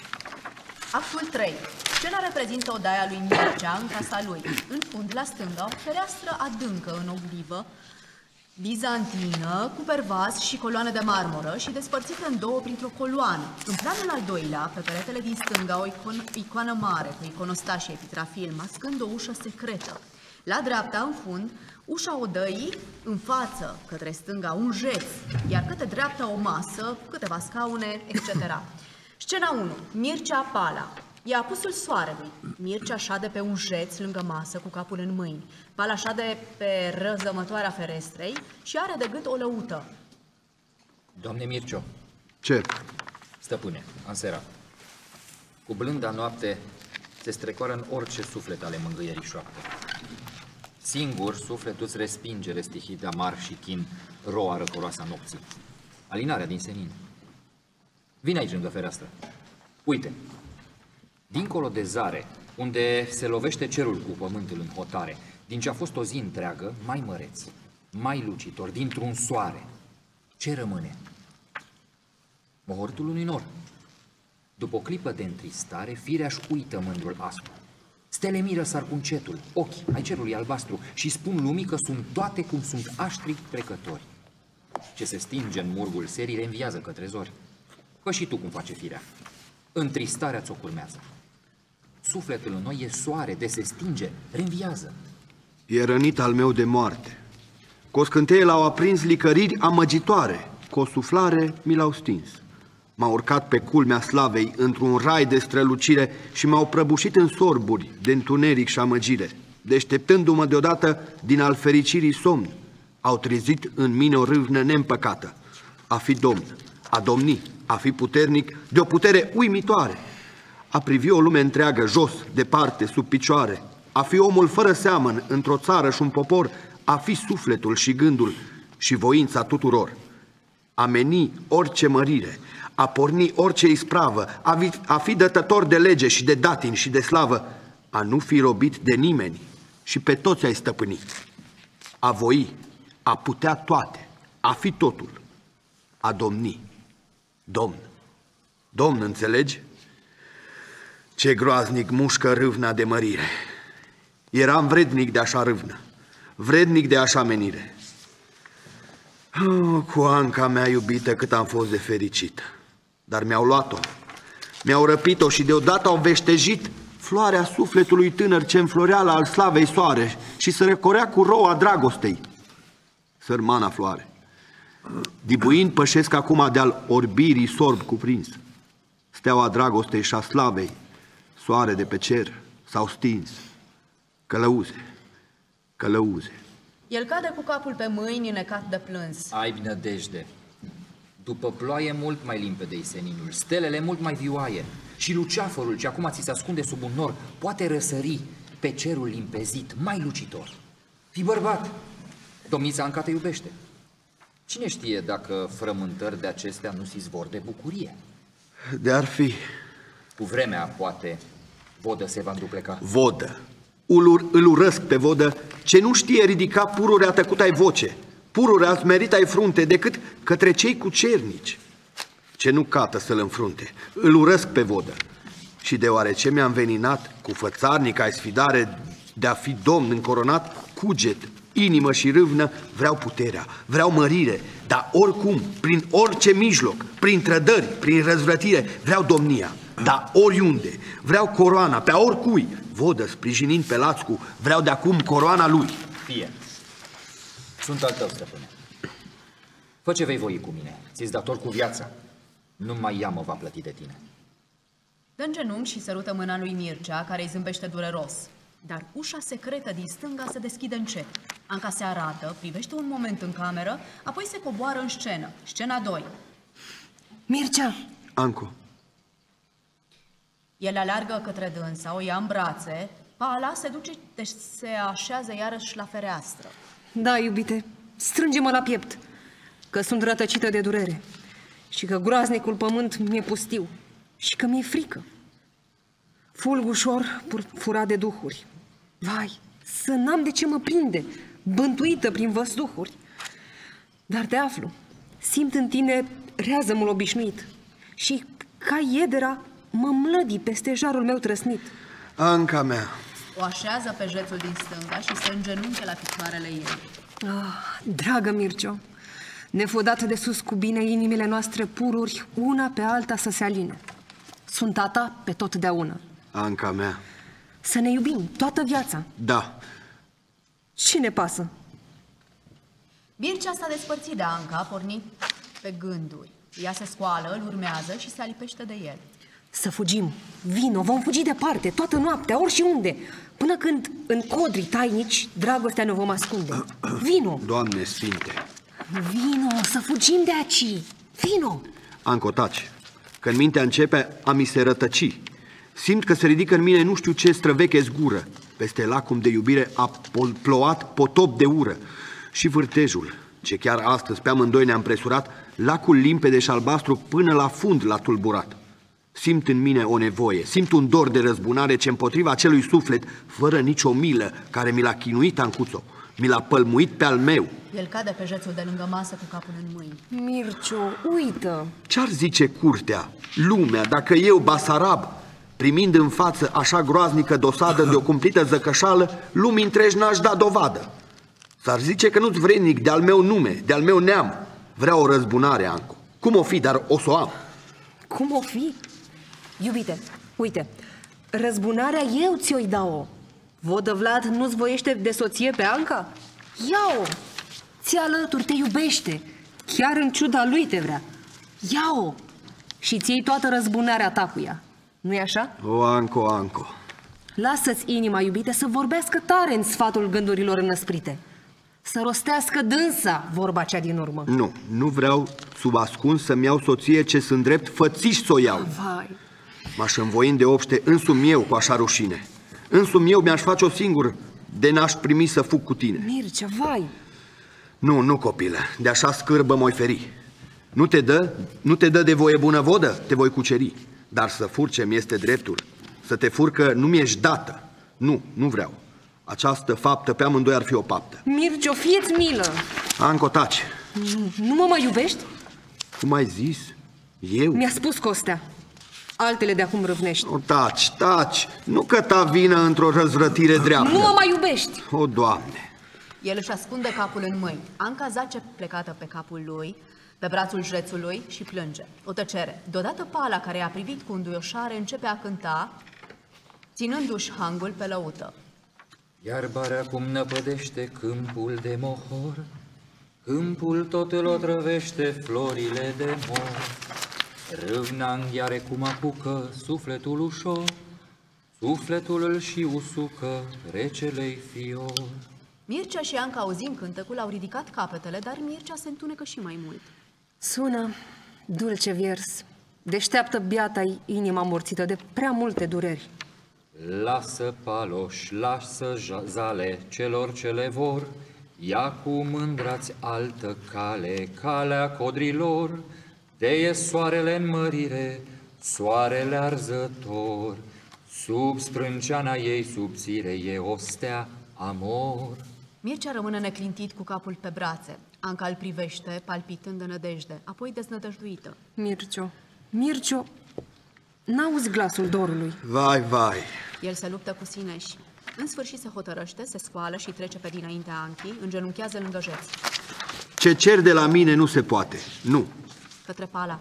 Cântarea ți-e isteață, dar mi-e dor de răzbunare și vreau sprijin, nu povață. Rănitul mai în suflet, Mircio. Doamne, Dar prea mult te iubesc ca în mine glasul zăcășelii să-l ascult. Nu, mă duc, rămâi cu bine. Anco, Fie pe a ta voie. Anca ta ți va da și sprijin de a avea de el nevoie. Anca mea, Mă duc. Ancuțo, iartă-mă. Mircea aruncându-se la picioarele ei. Ea se întoarce către el, îl sărută pe frunte, așteptând urmarea primului imbold, dar el nu face nimic ca să o rețină. Te-am iertat. Te-am iertat. Mă duc. Mircio. Înă, înăbușind-o lacrimile, iese repede. Scena 3. Mircea Pala. Mircea adânc mișcat, stă o clipă la îndoială, apoi se scoală din genunchi, face un pas către ușă ca și cum ar fi urmat pe Anca, însă iarăși se îndoiește. Se oprește și caută să-și adune gândurile. Cel din urmă sărutat. Cum? Te înșel, te înșel. Nu, Anca mă iubește, mă înțelege. Știe că ne e mândria sfântă, dar cumplită lege. Și Anca, crede-mă, copile, mirele nu și-ar ierta, decât dacă dânsul, de-a mândriei sfântă lege, ar uita. Crede-mă. Te cred. Cred însă că acela ce iubește într-adevăr, iubirii sale ori și ce jertfește. Vrei să zici? S-a stins amorul. Spun că nu o mai iubești pe domnița Anca. Pala, aiurezi. O, nu. Ba, ești un copil. Iubesc pe Anca cu o mai strașnică dorință. Nu mi-e dată? Voi avea-o. Dar prin drept de biruință, vei vedea. Se aud pași. Ascultă. Pașii ce se apropie ușor îmi aduc îndeplinirea necurmatului meu dor. Sunt iubiții mei tovarăși, ce îmi vor da dintr-o lovire o coroană și pe Anca, slava mea și a ei iubire. Scena 4. Aceeași. Nicodin, Vlad, Manea, Baldovin, Român Herescu, Murgu, Aldea, Algiu. Mircea alergând înaintea lor. Bun sosit, iubiți prieteni! Doamne Mirciu, bun găsit! Ei intră, își dau mâna cu Mircea și se coboară în scenă. Îți aducem știri urâte. Care știri?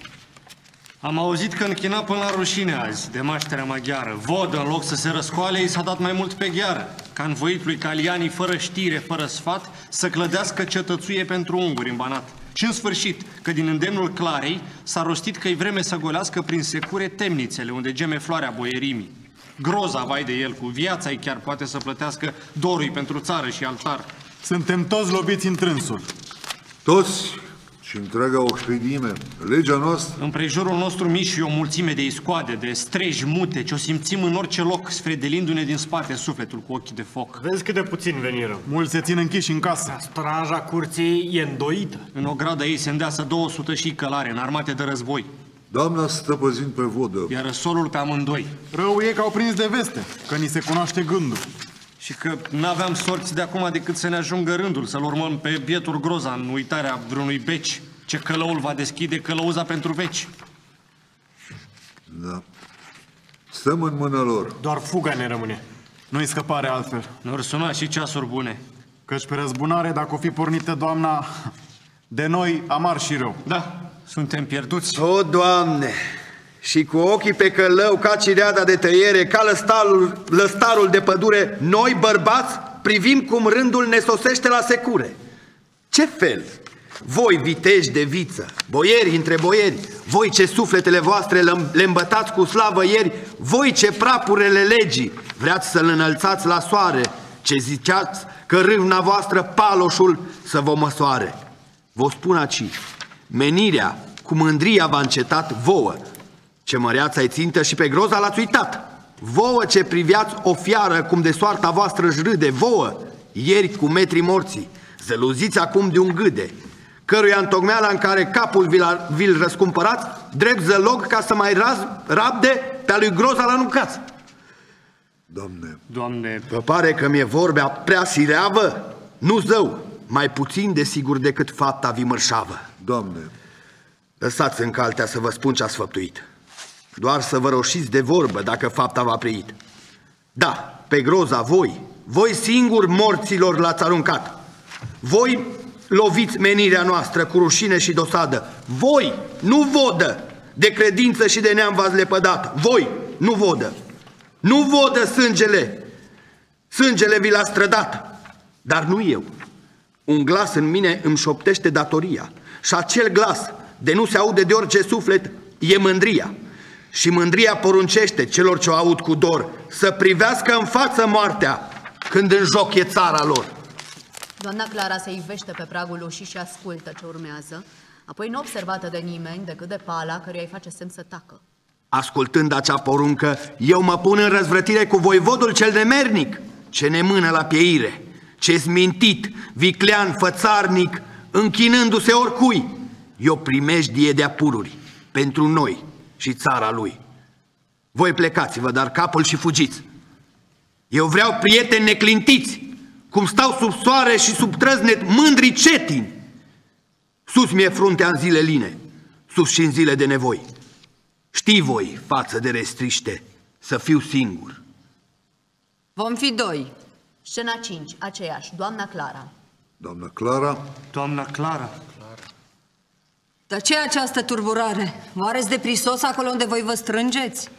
Oare când pe noi toți ne apasă a lui vodă mână grea, doar primejdie vă anunță pentru voi venirea mea? doamnă, Haide, haide, domnul Mircea vă îndemna prea bine. Și potrivnicii lui vodă sunt tovarăși azi cu mine. Maria ta, Cu mine, da, cu mine. Că am jurat să nu lasă sur pe nimeni lucru mare ce-am durat. O puternică domnie pe mărire întemeiată, care în viitorul mândrui călăuză luminată, să îndrumeze liniștitul mers al dragii noastre țări, pururi pe ale propășirii lungi și nete de cărări. Astăzi, rodul muncii mele, fătul ce-am crescut din fașă, într-o clipă să răpuie vlai cu inima pismașă, noi răbda. Nici voi, băierei țării, nu puteți răbda îndrumarea păcătoasă ce se încearcă țărea, da Duhul împovoia de ciudă, sorbul de ticăloșie, vlai cu vodă, Domnul nostru din acerului urgie. De ce fel nu răspundeți? doamnă, Doamnă, ți-o mărturisesc. Nu credeam lovind în vodă azi alăturea să fim cu Maria ta, ce în locul îi cărmuiești de o vreme țară. Cum? La spatele lui Vodă noi vedem pe doamna Clara. Ah, nemernicii, mișei. Doamnă, vodă, n-ar fi rău dacă ar asculta de păsul țării, el și sfatul său. Sfatul său, ah, e destoinic și ne face treabă bună când îl sprijină pe Vlaicul în pornirea lui nebună de a se război împotriva celui mare cu cel mic, de a fi aliat cu sârbii și certat cu Ludovic. Vodă Vlaicu face aceasta? Da, pe groza de-l jerfește bănuielilor ce în Gomeh și în Suceava începe a crește. Totuși, el se dă cu stareț și în duhul fără șir uită că zagrob la Gomeh, fica mea și Strașimir. Uită că din munți voivodul Miloș Herțeg cată în zare un prilej bun, rău. Ce-i pasă din hotar să se coboare? Ca la rândul ei o știre ai năvălincii la noi să se joace aceeași horă ce în Ardeal jucați și voi. Vodă uită tot, dar țara, îndruzmată la pieire, cată să-i curmeze calea, fie chiar prin răzvrătire. Da, da, steagul răzvrătirii îl desfășura și eu. Vodă e vrășmașul vostru, el e și vrășmașul meu. Toți cunoaștem păsul țării și de aceea vă zic iarăși că potrivnicii lui Vodă sunt cu mine azi, tovarăși precum sunt eu cu ei. Pe vodă, Doamne, nu le vinuim decât doar că nu ne ajută țara să ne mântuim de străini și de catolici. Câine, o, te ține minte și pe tine. Dar răbdare. Te înțeleg, prea sfânt părinte. Sunt catolică. Așa e și pe față, nu pe ascuns. Dar străinii nu sunt țării. Dovedit-o am de ajuns. Și o dovedesc și acum când umit ce-am dau copila. Ce după un străin vrea vlai cu somărite cu deasila. Ce? Ce ai zis? Am zis că Vlaicu vrea să dea pe, după un străin pe domnița Anca. Doamne, teasul e de acum plin. Doamnă, știrea aceasta poate să nu fie... Dovedită? Ba, e lucru sigur. Anca e de mult făgăduită craiului sărbesc. Lui Stareț? Da. Și credeți ce vă spui? Vlad le-a chipzuit pe toate fără știrea nimănui. Zilele astea, mâine poate e așteptată o solie care pe Anca o va cere pentru stareț drept soție. Zici că mâine. Chiar și mâine. Trebuie să fi trecut Dunărea de ieri, Solia. Boierii se înțeleg din ochi. Înțeleg și în sfârșit, dar totuși par neduberiți. Dar ce e de făcut? Dar ce e de făcut? O, Doamne, mai nimic. Ce întrebare? Mai nimic, zău. Ca dânsii. Să te arăți că ai răbdare. Și căzând adânc pe gânduri, să respingi și tu ca ei sprijinul ce ți-l trimite Anca prin chiar muma ei. Ce să faci? Ca dânsii, rabdă să vă piardă Vlad moșia. Ce să faci? Ca dânsii, uită-ți numele și vitejia. Ce să faci? Sărută mâna omului pismaș și rău care sfâșie deodată două suflete între al tău. Ce să faci? Când vlai cu țara și iubirea ți-o sugrumă, să te pleci, ca să se vadă o femeie, dar o mumă, dintre atâți boieri de frunte singură, cum va lupta ca să țapere voi vede țara și iubirea ta. Taci! Taci! Boieri, prieteni, n-auziți? Nu vă tresare sufletul de așa restriște? Doamne, cum și groza în fiare, și zdrobita noastră râvnă, și surpatrul nostru vis, și durerea mea vai, toate, toate de nimic avis? Aldeo, murgule, române, bere vlade, baldovine, nici o mură. Vai, niciuna nu se întinde către mine. Vlad hotărându-se și întinzându-i mâna. Mircio, iartă-ne. O, Vlade, Duhul nostru zbuciumat de alte gânduri ca de seară ne-l frământă necurmat. Nu lua seamă că între oameni cum suntem de boierie nu domnește mai măreață și mai sfântă datorie decât sprijinul de apururi de credință către acel ce ne-l cere când restriște adănăvală peste el. Sunt cu doamna și cu tine, pentru groza și domnița. Sunt și eu. Și eu. Cu toții, toți boierii. Toată viața. Boieri, uh, nu se cade pe un prilej așa ușor să dăm pradă răzvrătirii o domnie și un popor. Răzvrătirea gărea furtună ca în norii ei să poarte râvne mari și în alte ținte, slavă veșnică sau moarte. Și nu te-ar ierta moșia, ba te-ar ține chiar de rău de ei sângerau gorul numai pentru păsul tău. Nicodime, Sufletul ți liniștește, bun părinte. Răzvrătirea noastră vede ținte înalte, scopuri sfinte. Ea e lupta mântuirii pentru noi și țara ta. Și unei frunți fără înjosire, ea coroana i-o va da. Ție poate. Ba lui Mircea, Mie. da, Lui Mircea. ție, suflet netemut de nimeni, deși plin de bărbăție, și pe care zăcășale al face cel mai neîndurat din vrășmașii celui Vlaicu, astăzi ură i-au jurat. Ai dreptate. Să trăiască vodă Mircea. Să trăiască vodă Mircea! Doamne, fie voia ta cerească pururea slăvită. Doamnă, sunt de acum urmașul tău. Mea părcă cum strecoară sub coroană capul său. Mamă care îmi dai cu o vorbă, fericire și coroană, îți închin pe totdeauna, sufletul ca la icoană. Cinste ție! Cinste ție! Cinste vouă, vă zic eu. De voi tare hotărârea pe cât ceasul e de greu. Da, cinste cui se îndrumă hotărât într-o voință, pironind în țintă ochii, credincios în biruință, cinste lui și cinste vouă. Dacă hotărât voiți și voința voastră în țintă, cum pumnal s-o pironiți. Unde tinde? Poruncește. Vom voi. Boieri, nu-i vreme de pierdut. Nu pe vorbă de răscoală, Vlad se teme de ceva, se pregătește, l-am răzbit de sigur, știu. Dar e groza, dar e Anca. Am ajunge prea târziu. Nu, nu, să nu pierdem vreme. Noaptea care ne împresoară fie cea din urmă pentru Vlaicu. Ce fel vrei? Să moară. Boierii se indignează, dar ascund indignarea față de Clara doamna. Un omor? Împrejurarea poruncește. Un omor? Un omor de fericire, de domnie dătător. Un omor ce va deschide țării calea ei măreață. Un omor ce pentru atâția fi va dătător de viață. Ascultați, vă duc eu însumi până chiar nodaia lui printr-o trecere deschisă fără știrea nimănui. De Alexandru, răposatul vodă pentru el și mine. Am tăcut această taină vlaicului și îmi prinde bine. Pe când doarme, voi cu încetul să vă apropiați de Domn, nu-l mai deșteptați. Cu milă dați-l veșnicului somn.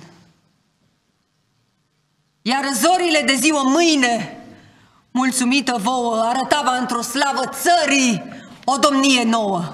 Boierii se înfioară de așa faptă. O tăcere. Slavă roșie de sânge. O hărâte zor de zi sub a căror raze mâine țara ni se va trezi. Nu e treabă boierească să ucizi un om ce doarme. Purtăm paloșe și acestea, doamna noastră, nu sunt arme de ucigași.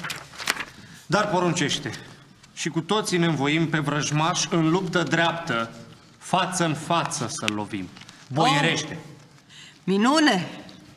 Duhuri mândre și senine, suflete neprihănite, de omor vă e rușine. Când omorul se îndreaptă către o viață de bărbat, însă ucideți în codru, fără grijă de păcat, un copil. Un copil? Nu, doamnă. O năpârcă doar, menită când călcâiul vrea să-l muște, de călcâia fi strivită. Mircio, Mircio, tu nu spui nimică. Doamnă, gata sunt să mor, dar nu vreau nici fericirea, nici domnia pe un omor. Bine, domnule Mircio, bine. Tu mă ascultă, Basarabe. Pentru frânele puterii, mâinile ți sunt încă slabe. Iar voi, suflete plăpânde, voi viteji, niște mișei, vino pala, tu vei face ce nu știu să facă ei. Este urmată de Pala. Scena 6, aceeași, afară de doamna Clara și de Pala. Dragi boieri, în ce greșeală, vai, cădeam și noi și țara. Toți ați înțeles ce țintă urmărește doamna Clara. Că sătul ca noi e vodă de robie și că vrea în sfârșit să soară sarme jugul ce de mult îl dobora. Dânsa l-a simțit. Și aici, dezvedindu-și fiara gândul, ne învrăjbea ca doar noi pe vodă ucigându-l, ea să apuce iar domnia, ea cu calianii al ei, pe când noi să fim cu toții robi la dânsa, robi la ei. Ai dreptate. Ai dreptate. Mircea, care mai Nădăjduia un ajutor din partea tovarășilor săi, merge desnădăjduit la jețul din stânga și cade pe el, doborât de durere. Nicodim, zărindu-l, se apropie de el. Doamne Mircea, vai sărmane, suflete, v-ați luptând în valuri pe o mare de prihane. Nu te îndoi de viață, nici de bunul Dumnezeu. Ce chemare ați dureroasă ce aude fătul meu. Să ne ducem toți la vodă, să ne spovedim la dânsul, toată vina, tot păcatul. El se va îndura de plânsul nostru drept și plin de jale și din inimă rostit și te va ierta pe tine, căci ai fost nedreptățit și pe noi, căci remușcarea e destul de grea povară și că toată vina noastră e și a lui. E dor de țară. Ai dreptate. Da. Să mergem toți, ca în vremuri de nevoi. Să ne asculte. Să ne ierte. Boierii încep a porni spre ușă. Vlad, observând că Mircea a rămas pe jeț, înapoiindu-se la el. Mircio, tu nu vii cu noi? Mircea îi face semn că nu, să-l lasă. Ești îndurerat. N-ai grijă de nimic. Rămâi cu bine. Iese după ceilalți. Scena 7. Mircea singur, apoi Anca, Pârcălabul, Pala, Strej. Mircea după lungă tăcere. O durere! De acum toate sunt sfârșite pentru mine. El cade cu capul pe masă, plângând încet, dar ușa se crede se deschide și apare Anca. Se asigură că Mircea e singur, apoi se apropie de el și cu degetul pe buze îl cheamă. Mircio! Anca, tu! Tăcere! Arătă spre ușa secretă. De acolo am auzit tot, tot, tot! Să vezi, căzusem lângă ușă. M-a trezit glasul mamei, mamei mele. Ce-a zis, ce grozăvie! Dar tu n-ai voit, iubite, sufletul curat să-ți fie prihănit. Mircea, Mircea! Anco, Anco. Să fugim! Da, Să nu fiu al lui stareț! da, Cât o să ne iubim da, departe de această curte. și departe de orice jale. Vino! Ei pornesc spre ușă. Aceasta se deschide și intră pârcălabul curții, urmat de numeroase streși care ocupă fundul scenei. Mircea Basarab, în numele Măriei sale, Domnului predăte. Mircea! Mircea! Oh, aș vrea să mor. Cade leșinată în brațele lui Mircea, care o depune binișor pe jețul din stânga. Mircea îngenunchind lângă jeț. Pala, care s-a furișat printre streși, vine pe din dosul jețului și, susținând capul Anchii, își arată sperghia și zice încet către Mircea. Mergi în tihnă. Până în ziua vei fi domn stăpânitor. Mircea îi face semn că a înțeles. O lasă pe Anca în grija lui și iese, urmat de pârcălav, pe când cortina cade. Actul 4. Odaia lui Vodă. În fund, fereastra mare, îndoită, ca cea din actul al treilea, dar mai largă și mai bogată. La stânga, în planul al treilea, patul domnesc, ridicat cu o treaptă, cu uranis, purtat de coro- coloane de lemn toarse și perdele mari, coborând pă- până pe lespezi. El e cu latura la peretele din fund, dar nelipit, lângă căpătâi și înăuntrul uraniscului, icoană cu iconostas, epitrafil, candelă mare și bogată. La piciorul uraniscului, flamura basarabească albastră, în mijlocul ei, pe fond roșu, trei capete de arap privind către stânga. La dreapta, în fața patului, o ușă mare. În planul întâi, la stânga, o ușă mică de stejar ferecată. Către dreapta, în planul întâi, un jeț mare cu o strană. Alte jețuri mici în odaie, din care unul înăuntrul uraniscului. Pereții sunt pardosiți, la înălțime de om, cu pardoselă de stejar vechi, lustruit. Deasupra coboare, tavanul cu grinzile verdețe e bogat, zugrăvit, în dreapta și în stânga ferestrei, trofee de arme. Prin fereastră se vede biserica domnească, luminată de lună și mai departe târgul. E noapte, torțe arg, în sfetnice de fier bătute în pereți deasupra pardoselei. În colțurile din fund, lampadare cu torțe aprinse. Scena 1. Vodă, Banul Niched, Nicodim, Vlad, Manea, Baldovin, Român Herescu, Murgu, Alde Algiu.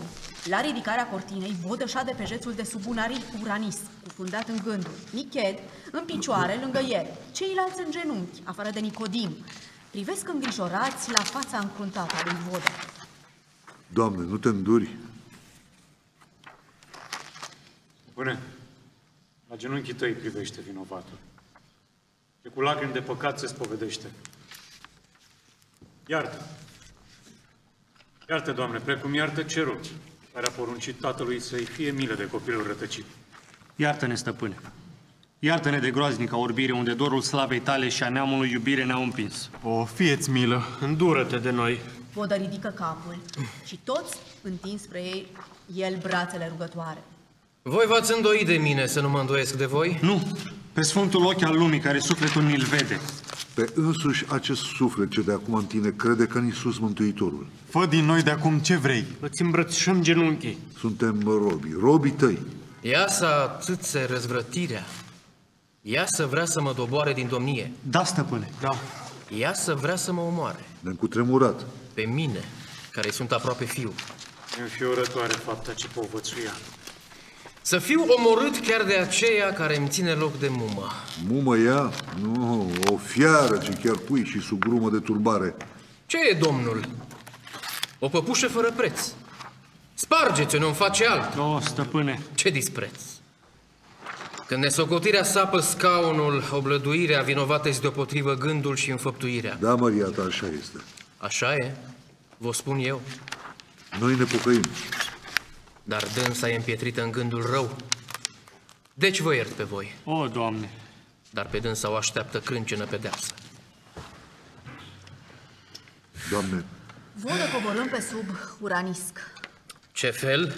Oare ar fi nedreaptă? dreapta ar fi chiar capul nostru, Doamne, dacă l-ar lovi. Da, dar pocăința voastră vreau măreța o slăvi. Voi veți pedepsi. Noi, Doamne? Voi. Ah, mașteră haină, însă și tu alesa pentru mine grâul de neghină. Scoate de la brâu o cheie, merge la ușa frecată și o arată boierilor. În această culă neagră, bob cu bob am adunat, rodul bun într-o iubire de moșie semănat și cernut la ciurul aprig al credinței prigonite. De acum iasă la iveală, vremile sunt împlinite. Deschide ușa. Hei, vitejii mei prieteni, v-am adus tovarăși noi. Cei din culă ies, liberi și înarmați, dar cei din scenă îi recunosc și alergă către ei. Golea! Crețu! Moș și Vașcu! Groză! Și Michet cu noi? Ei se îmbrățișează cu lacrimi. Ce zici, bane? Se ghicise taina mea când bună oară se zvonea că aici în culă adunasem o comoară? Doamne, este adânc și mare. Împotriva celor răi, ei mă apără pe mine zi și noapte, eu pe ei. Fii blagoslovit în veacuri, păzitor a celor sfinte.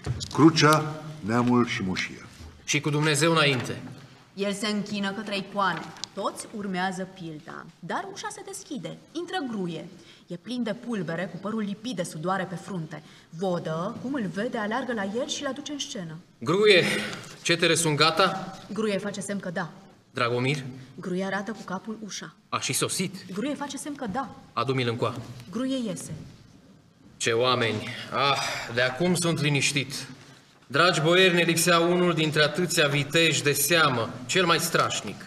El aleargă când nevoia țării îl cheamă. Arată ușa pe care intră un călugăr catolic. Un catolic? Un călugăr minorit? Vodă merge la călugăr și descopere capul. E Dragomir. Iar v-ați îndoit de mine. Iartă-i, vezi și eu mă mir de porunca ce mi-ai dat-o mie, cu vioasa sluga Ohridei, să învâr capul sub acest tot trep de glugă.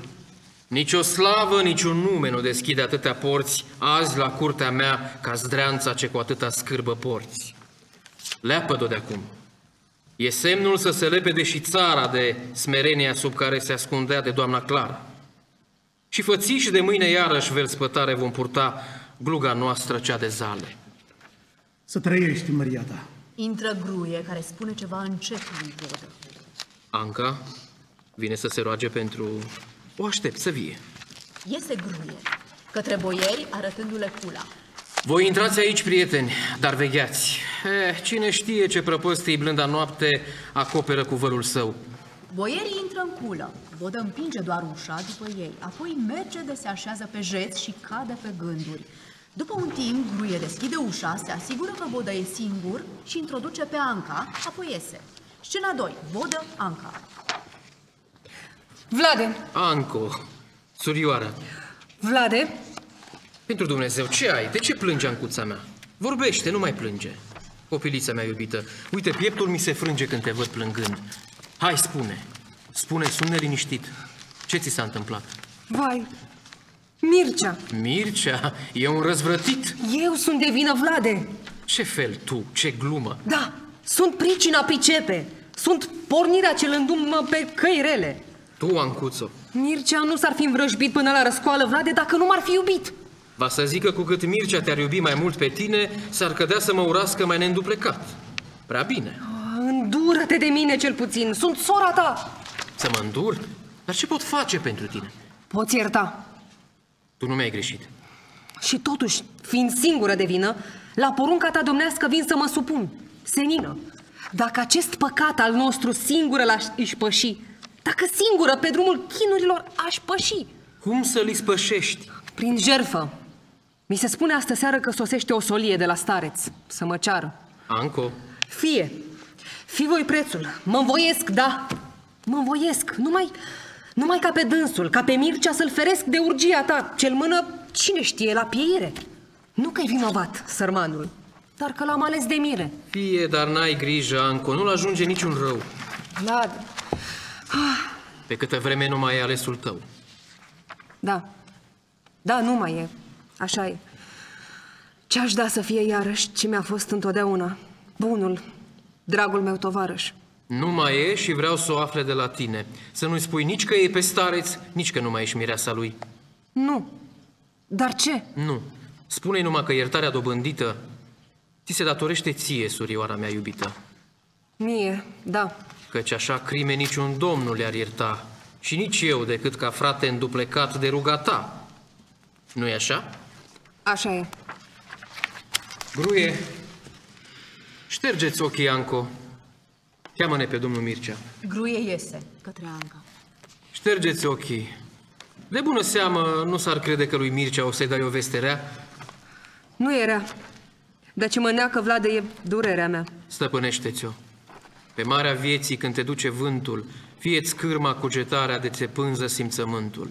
Și cu cât mai aprig vântul umflă valul furtunos, mai cu grijă strânge pânza. Cârma ține-o mai vând jos. Scena 3, aceeași. Mircea introdus de gruie. Mircea intră mândru, dar stă locului văzând-o pe Anca. Anca. Haide, Anco, spune ce ai făcut pentru dânsul. Mircio, m-am rugat de vodă să te ierte. Vezi din plânsul și înțelege cât ne costă pe amândoi greșeala ta. Anco, Nu știi ce îndurare. Anco! Mircio, nu uita! tu n-ai șire în cuvântare. Ia ascultă. Eu i-o spune lucru neted și băiatul la pricepe de minune. Ce zice? Oh, doamne, Anca. Anca, Mircea, a venit să se roage pentru tine pe o cărare rea pornit. Te-am iertat. Dar mai sunt și alții pentru care ruga blândă în zadar mi-or fi închinată ca să-i scape de o sândă. Dumnezeule puternic, mama! Mircio, te-am iertat după ruga ei și pentru că ți-e sufletul curat. El te-a deslușit de faptă bună, chiar nerăsplătită. E o mândră bogăție ce de ce- cer e socotită. El ți-a dat acea povață să respingi un ajutor care îndrumă zăcășeala spre trădare și omor. Mamă! Totuși mulțumește-i Anchi. Ce bucurie sufletul îmi înviază. Anco, mulțumită ție pentru slava ce dă cerul, fericirea ce tu dai și ce se sfârșeau cu viața dacă tu nu mi-o scăpai. Viața, slava, fericirea. Oh, cât te plătesc. Ia seama, ai de dobândit iertarea și altui osândit. Mama, mama, dar ce mai pot face? Alt nimic decât să faci ce ai făgăduit, atâta tot. Oh, mama, Și să taci. Ce șoptesc? E vinovată. Vlade, Draga mea copilă, e târziu. Mircea, Mircea, Ah, ia seamă. fieți milă! Pe amândoi de acum ne leagă un același jurământ. Cum te porți, mă port. Vai, fie, Se va ține de cuvânt. Scena 4, vodă, Mircea, gruie la ușă. Mircio, mergi cu bine. Doamne, nu m-am încrezut în tine. Bunătatea-ți îndoită îmi face vină. Mergi cu bine, vina ta ți-o ispășiva pocăința, fătul meu. Ce se iartă să se uită. Vorbă de la Dumnezeu. M-am înșelat amarnic, dar îmi voi plăti greșeala fără preget. Doamna Clara, unchiule, i-a dat lui Pala sarcina să făptuiască ce întâi mie mi-a propus. Este o ușă, doar de dânsa cunoscută, cum a spus, și pe unde poate în taină să răzbească până la tine. Deci la noapte... Cum? La noapte? Astă noapte? Zis-am bine. Pala însuși, adineauri, lucru mi l-a povestit. Da? Și ce fel? Că la noapte, Când va fi tot liniștit, doamna, chiar aici, la patul tău, pe pala îl va duce să te înjunghe. Ah, fiară, dar mă jur pe Sfânta Cruce. Bine, Vodă zâmbește încruntat, stă puțin la îndoială, apoi merge la ușa culei și o deschide. Se văd boierii din ea. uite, Mircea, unde stau apărătorii mei. Intră aici. De acum ești vrednic să te numeri printre ei. Mergi. Mircea, care s-a sfiit mai întâi, recunoaște pe cei din culă și aleargă la ei. El a primit cu un bui, e primit cu un buiet bucuros. Vodă se mai gândește puțin, apoi... Michede, Dragomire, voi veniți încoa. De sfatul vostru avem nevoie. Cei doi sfetnici intră în scenă. Ușa culei se închide. Scena 5. Vodă, Michet, Dragomir, Gruie. Vodă se așează pe jeț și cade pe gânduri. Doamne, În ce primejdie e statul? În primejdie? Michede, cam ce ceas o fi? Mai sunt două ceasuri până la mează noapte. Două? Da. Mă încrunt când gândesc cu ce îndrăzneală... Hmm. Ce crezi, oare o fi culcată doamna Clara? Nu cred, doamne, e fereastra luminată. Gruie, roagă să poftească până aici. Iese Gruie. Vodă urmează aparte, hotărându-și planul. Da, să o îndrăjesc, dezvelindu-mi către dânsa gândul tot. Să o hotărăsc să n-amâne nicio clipă moartea mea, ci se va prinde singură aici la noapte, chiar în cursa ce mi întinde.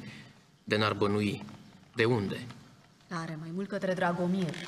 Doamnei, dragi boierii mei, înainte de a procede la înlăturarea ei de la cărmuirea țării, mi se pare că e bine lămurit, dar fără ură, să-i vorbim cum se cuvine. Să păstrăm cu grijă legea Domnului Isus Hristos care vrea ca vinovatul, cu cât e mai păcătos, cu atât mai mult să afle mângâiere și iubire. Că de sine să-și îndrume sufletul spre pocăire. Îi veți spune păsul țării, păsul nostru, păsul meu, și de nou știi să înțeleagă fie ce vrea Dumnezeu. dar ar Domnul, să pătrunză milostiva-ți bunătate, dar mi-e teamă că e Duhul prea cuprins de răutate. Totuși, ne-om rosti cu cernic, Doamne, mai ales că în ea văduva lui Alexandru Vodă pururea, noi vom vedea. Da, pe tatăl meu, slăvitul, mult iubitul ai spătare, și culesați împreună, da, fiind mulți. Scena 6. Aceeași. Clara doamna. Clara înaintând îngrijorată. Ce împrejurare grabnică te face, Vlade, să mă cheme așa târziu, la un ceas când... Vodă i-a ieșit înainte, ea vede pe Dragomir. Ah, spătarul. Tu în Argeș? Pe cât știu, oropsitul te-am în Valea Dâmboviței. Cu ce voie vii la curte? N-are nicio bănuială. Dragomir dă să răspundă, dar Vodă îl îl oprește cu un gest. Am nevoie, doamnă, într-o împrejurare unde scaunul e în joc, unde poate să se arunce țara în sabie și foc, să ne sfătuim tu patru, fără ciudă, fără ură, ca să iau cea mai cu minte și mai rodnică măsură. Ce cuvinte sunt acestea, scaunul în joc? Mai mult, îi împrimești de chiar țara. Ce ori mai fi urzit? Tare către Vodă. Te ascult. Doamnă, sunt aproape patru ani de când războiul cu crăimea ungurească, săvârșitul sa în toiul biruințelor române, reportate pe deplin din Vidin la Alba Mare, din Ardeal la Severin. Și de când într-o unire cei de o limbă și de un sânge s-au selit luptând alături jugul craiului al frânge. Biruiserăm. Vrăjmașul, pretutindeni fugărit, ne lăsa stăpân la dânsul pe ținutul cucerit. Și cu iarna, când de obște orice luptă e amânată, mă făleam să-mi văd statornic stăpânirea întemeiată. Pe când tu domneai la curtea de Argeș, cărmuiai în locul meu, totul mă ajuta. Deodată, ia ca vine ceasul rău. Mulți din capitanii oștii din Ardeal sub Nicolae, fratele meu, îl părăsiră, chiar în ziua de bătaie, luncetele. Aceasta din porunca ta înscris. Doamnă, oastea ai fost zdrobită în acea zi și el ucis. Dar ți-am spus că vreau la Alba să trimit Da, să... da, da, mi-ai spus, așa e. Dar și acum plânge neamul pe voivodul Nicolae și îi sărută piatra în monastirea de la Câmpul Lung. Din această biruință, oștile crăiește ajung la hotarul țării noastre. Fără m-a întrebat pe mine, domnul, ai trimis solie ca crăimea să se închine și să milogească pacea ce ea însăși milogea. În același timp, oștirea ce prin țară se strângea, tu o slobozeai în locul chiar la curtea mea, domnească. Stabileai pe Calianii cu o știre ungurească. Și mă părăseai pe mine, oropsit la făgăraș și biruitor dat pradă biruitului vrăjmaș. Dar puterile maghiare din noroc erau slăite, de războaiele din urmă până în Bosnia pornite. Astfel că scăpai din gheara morții, pacea se făcu, iar crăimea, făgărașul totuși, mi-l recunoscu. Din atare războire, din atare vitejie, din avântul cel mai strașnic repezit de o vijelie, ce foloase mânde trasai? Strigă morții din mormânt. Ce? Mi-am închinat moșia pe o prăjină de pământ. Da, de atunci, de tine, Doamnă, e moșia mea închinată. Caliani aici domnește și chiar sora mi-e lăsată ca static de credință și zăloc de viața lui. Ia ca ce a ajuns domnia.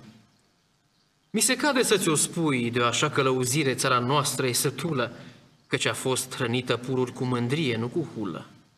Și că a învățat din datini, date de strămoșii mei, numai Domnului din ceruri să închin coroana ei.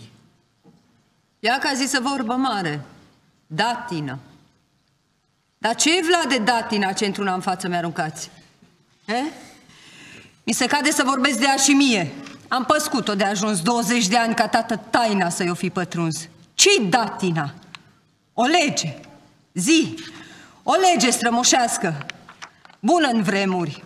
Dar ce poate să nu se mai potrivească celor ce cu propășirea s-au născut în vremea lor? Dânsa e o cătușă pusă propășirii de picior. Am făcut, vă zic, prea bine în mânioasa am cârmuire când am rupt acea cătușă pentru a țării prăpoșire.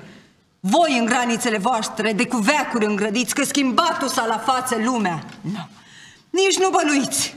Și voi înși vă privind-o, v-ați închipuit firește, că de stă pe loc românul nimeni nu propășește. Dar vreau din adormirea țara voastră să o deștept către apus, unde știința și lumina să vă îndrept. Sufletul-i pătat de schismul, duhul de îndărătnicie, prin botezul mântuirii să le spăl pentru vecie. Ce-mi pasă când e vorba de un folos așa măreț, dacă vi se pare vouă că îl plătesc prea mare preț? Și când cumpăr făgărașul un ducat atât de mare, dar vă tocmiți pe o vorbă, vorbă seacă o închinare. Și apoi de sătulă țara de călăuzirea mea fie, fac ce vreau, Păstrează-și legea datinei de vrea și hrănească-și o cu fală și adape-și o cu zale. Dar să o țină mai departe, să nu mă pună în cale, că o sfărăm! Nu se sfărămă veacurile ce au trecut! Cu veacurile acelea datina ni s-a făcut. Doamnă, datina străbună e mai mult decât o lege. Domnul ce-și cunoaște țara, din chiar traiul ei culege obiceiuri de tot felul.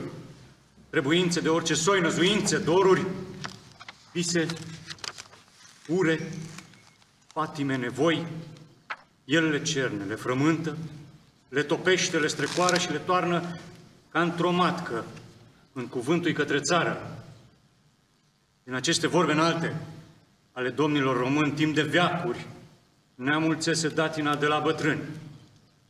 Pruncul de la sân o soarbe în fiecare strop de lapte. Leagănul în care doarme eu șoptește în blânde șoapte, eu mai spune vechiul bazm. De bunica a povestit. Doina lung eu cânt în frunză când e vârsta de iubit. Arcul, gheoaga din părete pururea eu aduc aminte. O citește în pomenirea de pe lespezi de morminte și sub pajera cu cruce, dezmerdându-și visul său, sufletul o face una cu credința în Dumnezeu. E. Dar la urma urmei, ce voi? Ascultă, mamă, țara ce te roagă astăzi, dar ce, mâine... Ia seama, mi se pare că ameninți. Nu ameninți, dar îți zic că prea mare e povara urii ca să o mai ridic. Uite, Dragomir, e solul celor oropsiți. E vrednic de așa solie. Doamnă... Ei mă roagă, prea cucernic, să-ți înduplec zăcășeala și cu dânsii să te împac. Să deschizi această culă unde cei mai mândri zac. Iartă-i. Stăpânește, mamă, prin blândețe, ar, ar fi vreme. Pieritoare-i cârmuirea când sub dânsa țara geme. Lasă geamă. Dacă gebe după niște oameni răi. Sunt dușmanii țării, Vlade, cei ce sunt dușmanii mei. Ia că legea cârmuirii, călăuza judecării. Să-i spun eu, mării tale, care sunt dușmanii țării, doamnă, și prin care semne neamul nostru românesc, credincioșii și vrăjmașii țării se deosebesc? Uită-te la mine, Doamnă, pe acest piept, pe această frunte urma rănilor, în slove serbede, aldată crunte, spune celor de pe acum că spătarul Dragomir și-a văzut de datorie 40 de ani. În șir, că hotarele domniei sunt de spadă rotunjite și că orice biruințe sunt pe trupul răbojite. 40 de ani. Albastrul astfel flamuri azori cu credința noastră în slava cerului îl primeni. 40 de ani, alături cu alții, țara și azi plânge. Letopisețul moșiei scrisul am cu al nostru sânge. Iată ce au făcut cu mine timp de 40 de ani. Cei ce legea cârmuirii îi numește azi dușmani. E prea mult! Nu încă, doamnă.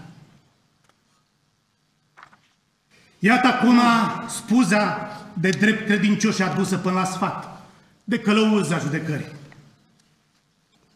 Spătare încă o dată, e prea mult. Depășește orice măsură. Tu taci, Vlade. Eu ascult, mamă. Mamă, fiu netrebnic. E. Dar voi ține minte. Dar fi să le uiți vreodată, n-aș rosti așa cuvinte.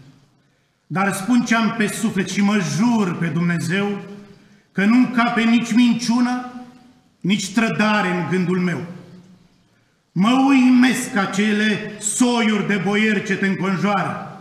Nu e unul să nu fie pripășit de din afară.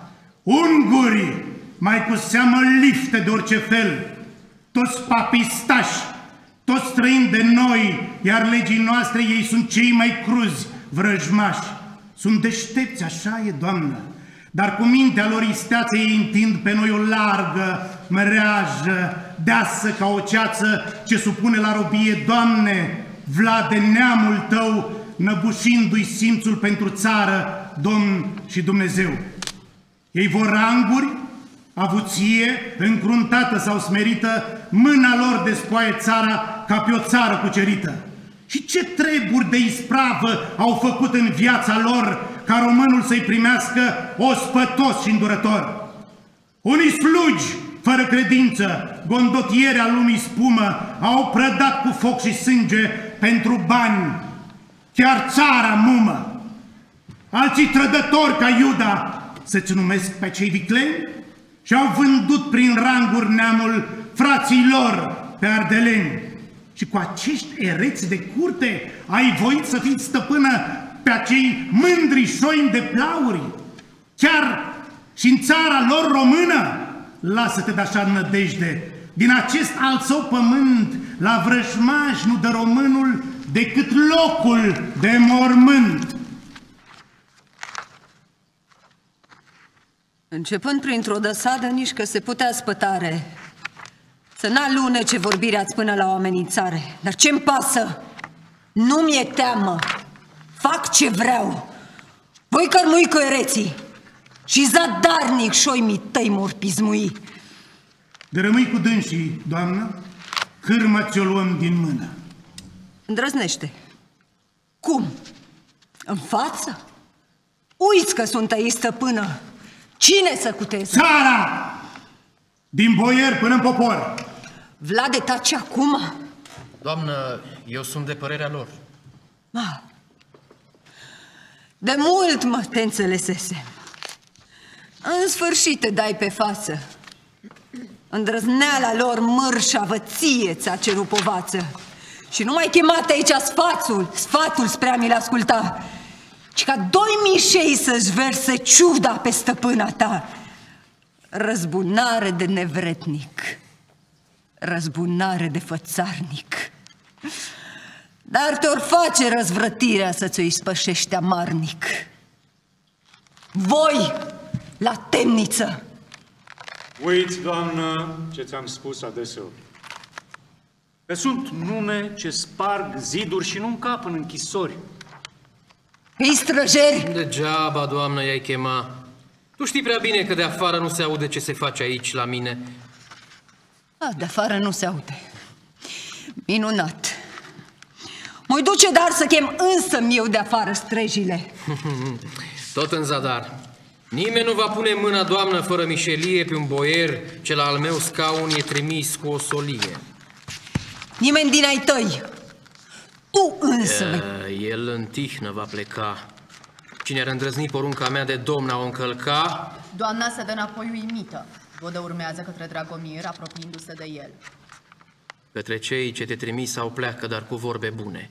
Vel spătare de la mine, domnul țării și le spune că se va deschide cula mâine chiar în zor de zi. Stai călare, dă năvală curții cum de-ai auzi clopotul cel mare. Ei vorbesc încet și Dragomir iese. Mâine. Cât de scurtă, tot e lungă de ajuns această noapte. Ceasul rău să te ajungă. Bane, mâine dimineață sfatul îl vei aduna, când de sfânta liturghie clopotele vor suna. Michel se închină și iese. Doamnă, e aproape miezul nopții. Să căutăm odihnă, că de treburile țării mâine să vedem în tihnă. Mâine? Da. Și până mâine în zori, uitasem să ți-o spui, nici o poartă a curții nu se va deschide nimănui. Gruie, asta mi-e dorința. Gruie iese o clipă și reintră. Bine, Vlade. Foarte bine. Însă tu porniști războiul între mine și între tine. Însuți. Preța luptei noastre arunca ștoiagul tău însuți, hotărându-mi ura în armatei brațul meu.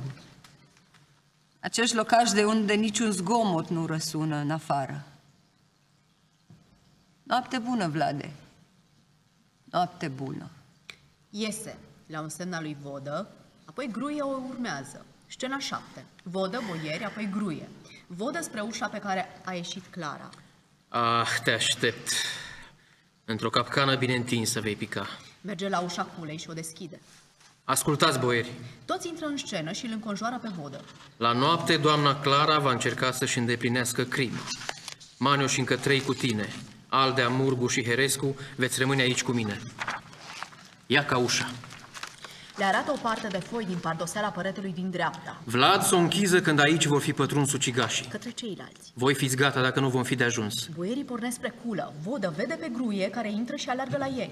Ei, Ei vorbesc puțin încet, prea bine. către boieri. Doamna Clara ține sfat la ea cu pala. Către Gruie care îi îndeplinește porunca. Stinge tot. Către boierii care scot spadele goal, care cât, um, către boierii care își iau posturile și își scot spadele, apoi se ascund sub perdelele uraniscului. Vlad, lângă ușa tainică din dreapta. De acum tăcere. Să nu se dea cu bănuiala că nu sunt cu totul singuri. Toți dispar. Scena rămâne Hm. luminată numai de candela icoanei de la capătul patului domnesc și de strălucirea cerului prin fereastra din fund. Vodă duce pe, pe gruie înăuntrul uraniscului lângă iconostas. Gruie credinciosul meu, tu aici. Gruie îi sărută mâna. Vodă mai privește odată în preajma sa, apoi se întoarce către icoană și își scoate cușma. De acum, stăpâne, luminează robul tău. Vodă intră sub uranisc, se îngenunche pe iconostas. Gruie trage perdeaua. După o tăcere se aude glasul lui Vodă rugându-se. Tatăl nostru cel din ceruri, ce privești cu bunătate, sufletul pătruns a Evea de cerească ta dreptate. Dacă în cumpăna de față în ispită am căzut și în alegii păs și al țării pe al meu nu mai l-am văzut, dacă cârma pregătită încă nu e așa de mare, că în sfârșit să îndrituiască dorul meu de răzbunare, dacă către ei și tine însumi am păcătuit, într-atât că chiar cu crimă să le-o fi înditruit, dacă rea mi judecata, dacă fapta lor e bună, atunci lasă, Doamne drepte, junghiul lor să mă răpună. Însă dacă datoria mi-am făcut-o pe pământ, dacă mi-am ținut apururi de cerescul tău cuvânt, dacă am suferit destulă umilire și ocară pentru sfânta ta credință, pentru această blândă țară, dacă vremea e împlinită, dacă ceasul a sunat, capul să-l ridic deasupra celor ce l-au închinat.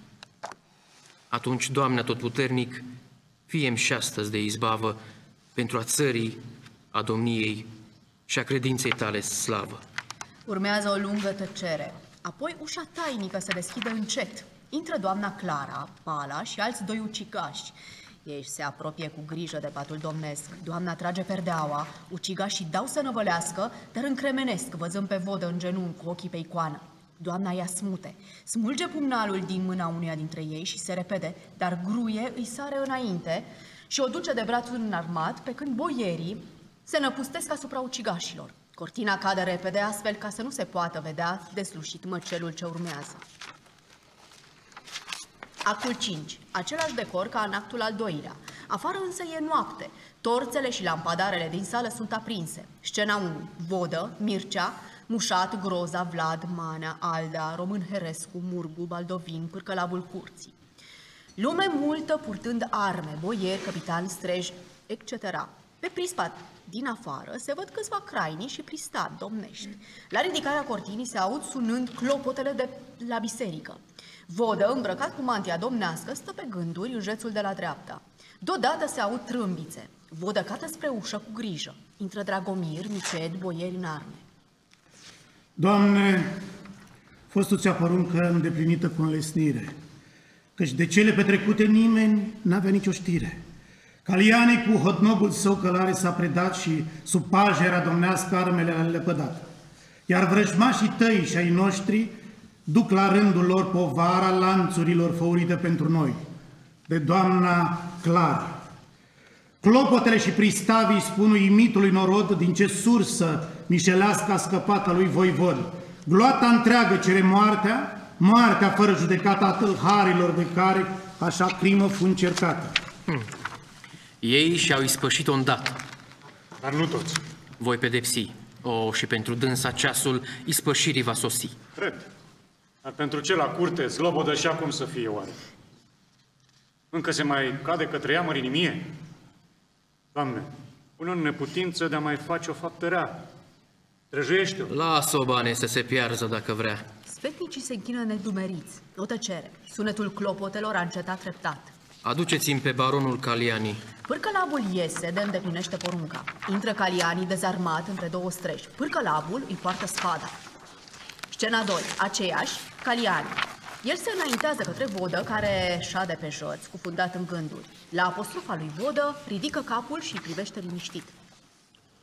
Doamne Vlade, mi se pare că la curteați nu se știe ce se cade unui sol trimis de crai. Unui sol imperial către tine, Basarabe, domn, cei drept, dar domn vasal. Ah. Vodă le impune tăcere cu gestul, apoi îi face semn solului să urmeze. Mie nu mi-e teamă de necazul curții tale. Apărat sunt de solie am ca de nepătrunse zale și resping orice apărare, fie clipa cât de grea, câtă vreme am pe aceea ce mi-o dă solia mea.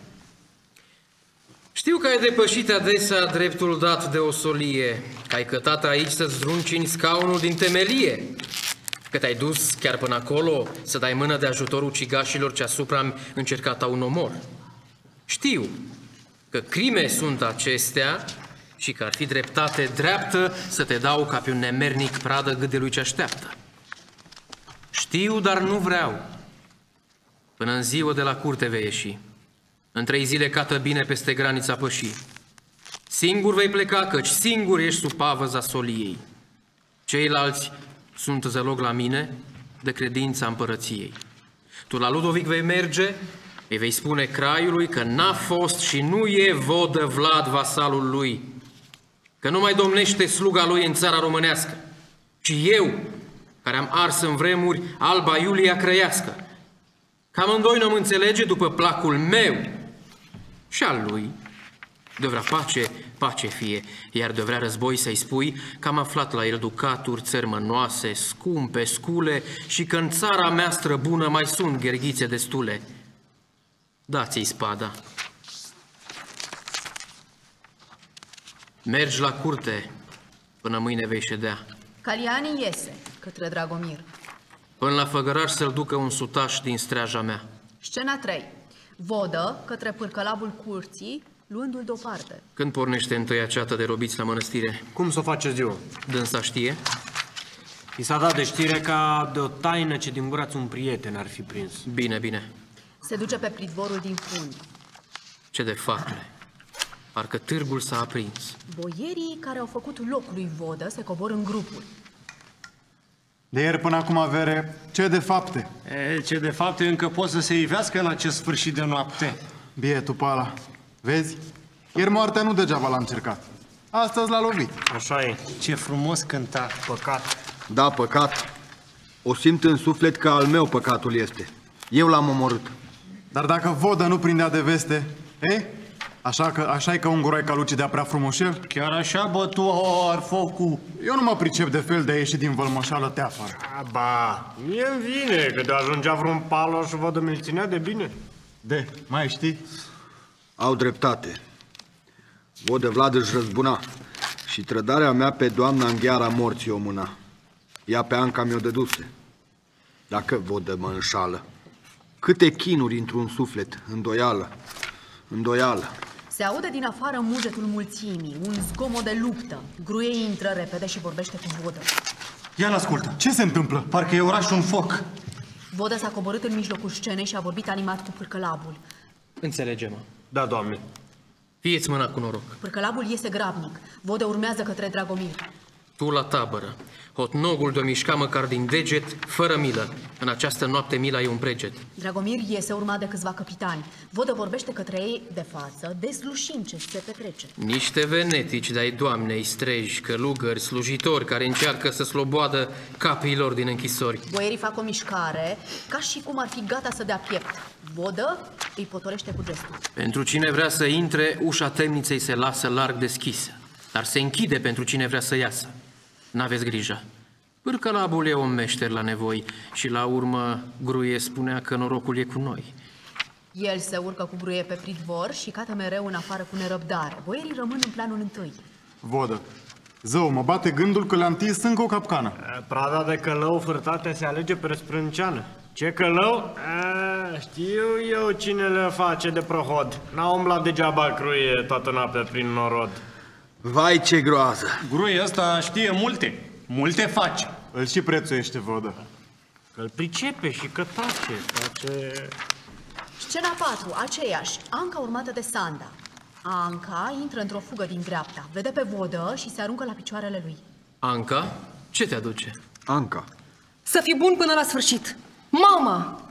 Mama ta? Vlade, cât de crâncen ți-a greșit, iartă-o, scapă Pentru mine, pentru dragostea fierbinte ce ți-o port. Să scape doamna, de ce lucru? Doamne sfinte, e în primeștie de moarte, ce nu știi, nu ți s-a spus? Nu, nimică. De la curte a fugit, în târg s-a dus. Ce? Da, cu câțiva tovarăși, dar norodul în vâltoare l-a recunoscut și acum... Afară strigăte de biruință și răgnete de moarte. Oh, N-auzi, o să-i omoare! Unde? Ce fel? Nu știu, nu știu, scapă, scapă pentru Dumnezeu! I s-a întors în mână fierul ce îndreptase în pieptul meu. Către boieri. Alergați, cu viața încă o dată să-mi rămână dar datoare. Boierii s-au repezit, dar se întâlnesc în ușă cu pârcălabul. Doamne, mi-au scăpat din mână. Câțiva temniceri de doamna, cum se vede cumpărați, la porunca îi sloboziră papistași întemnițați. Dar norodul, ce auzise clopotele, se adunase. Îi văzu, dădu năvală cu topoare și cu coase, astfel că răzvătitorii de mulțime fugăriți erau până la cel din urmă când sosi măcelăriți. Mama, Doamne sfinte, mama! Surioară. Doamna Clara a scăpat cu viață. Mama? Ah, mi-ai ridicat povara după suflet pârcălabe. Da. Și ce fel a scăpat? Mulțumită însă Urii cu norodul i-a jurat. El n-a sfâșiat îndată căci voia să o arză vie. Rugul se și ridicase, se, se aprindea. Și grozăvie! Într-o clipă, doamna Clara răstignită fu pe el, dar deodată, prin mulțime, năvăliu un căușel, străbătu la rug, din flăcări smulse jertfa leșinată și pe când dădeau străjerii piept cu gloata înverșunată, el, amenințând cu moartea de norodul răsculat, izbuti să adăpostească viața doamnei în palat. Alerg la ea! Da, du-te, du-te. Anca iese repede prin fund, vodășa de frunjet și se cufundă pe gânduri. Dar se face o mișcare în fundul sălii. Boierii se dau îndărăt uimiți și apară în ușă doamna Clara, despletită, cu straiele în dezordine, rupte și pătate de tină, sprijinită pe Anca și urmată de câteva, de câteva femei. Ea înaintează în tăcere până la jețul lui Vodă, într-un grup unde se discută. Alda exclamă, arătând spre pârcălabul. El, mă prind că de asta dată n-a brodit-o. De ce, Vere? Că nu trebuia scăpată. Scena 5, aceeași, doamna Clara, etc. Doamne Vlade, mă privește. Doamna Clara, tu aici. Am o mai lupta cu tine, nu mă îndărătnici. Ucigașa. Da. Ascultă. Suntem două inimi crunte noi. Și aceleași gânduri negre ne se zugrăvesc pe frunte. Milostiv te crede lumea, dar nu eu. Își te ghicesc. Nu mai sunt primejdioasă. Deci am voie să trăiesc. Sfânt se face orice mijloc pentru a țării apărare și că țara mea-am scăpat o jur aici păcatul mare. Curtea își manifestă zgomotos bucuria. Când zgomotul se liniștește, vodă continuă și se adresează clare. Ucigașa, tu cu junghiul încercai a mă lovi. Eu mă fac călău de vorba neamul a mi izbăvi. Curtea își manifestă zgomotos aprobarea. Vorbe late. Hmm. Vorbe late. Fățarnic. Tot fățarnic. O să te ajungă, Doamne Vlade, ceasul cel amarnic. Toți ca mine în astă noapte, Vlade, nu vor fi trădați. Toți. Toți fără să lovească, nu o să cadă în junghiați. Unul va fi mai destoinic. Va străbate până la tine. Și atunci îți vei aduce aminte, poate, și de mine. Ia că ruga ce voi face pururi Domnului Ceresc, din tot sufletul cu care te urăsc, te urăsc!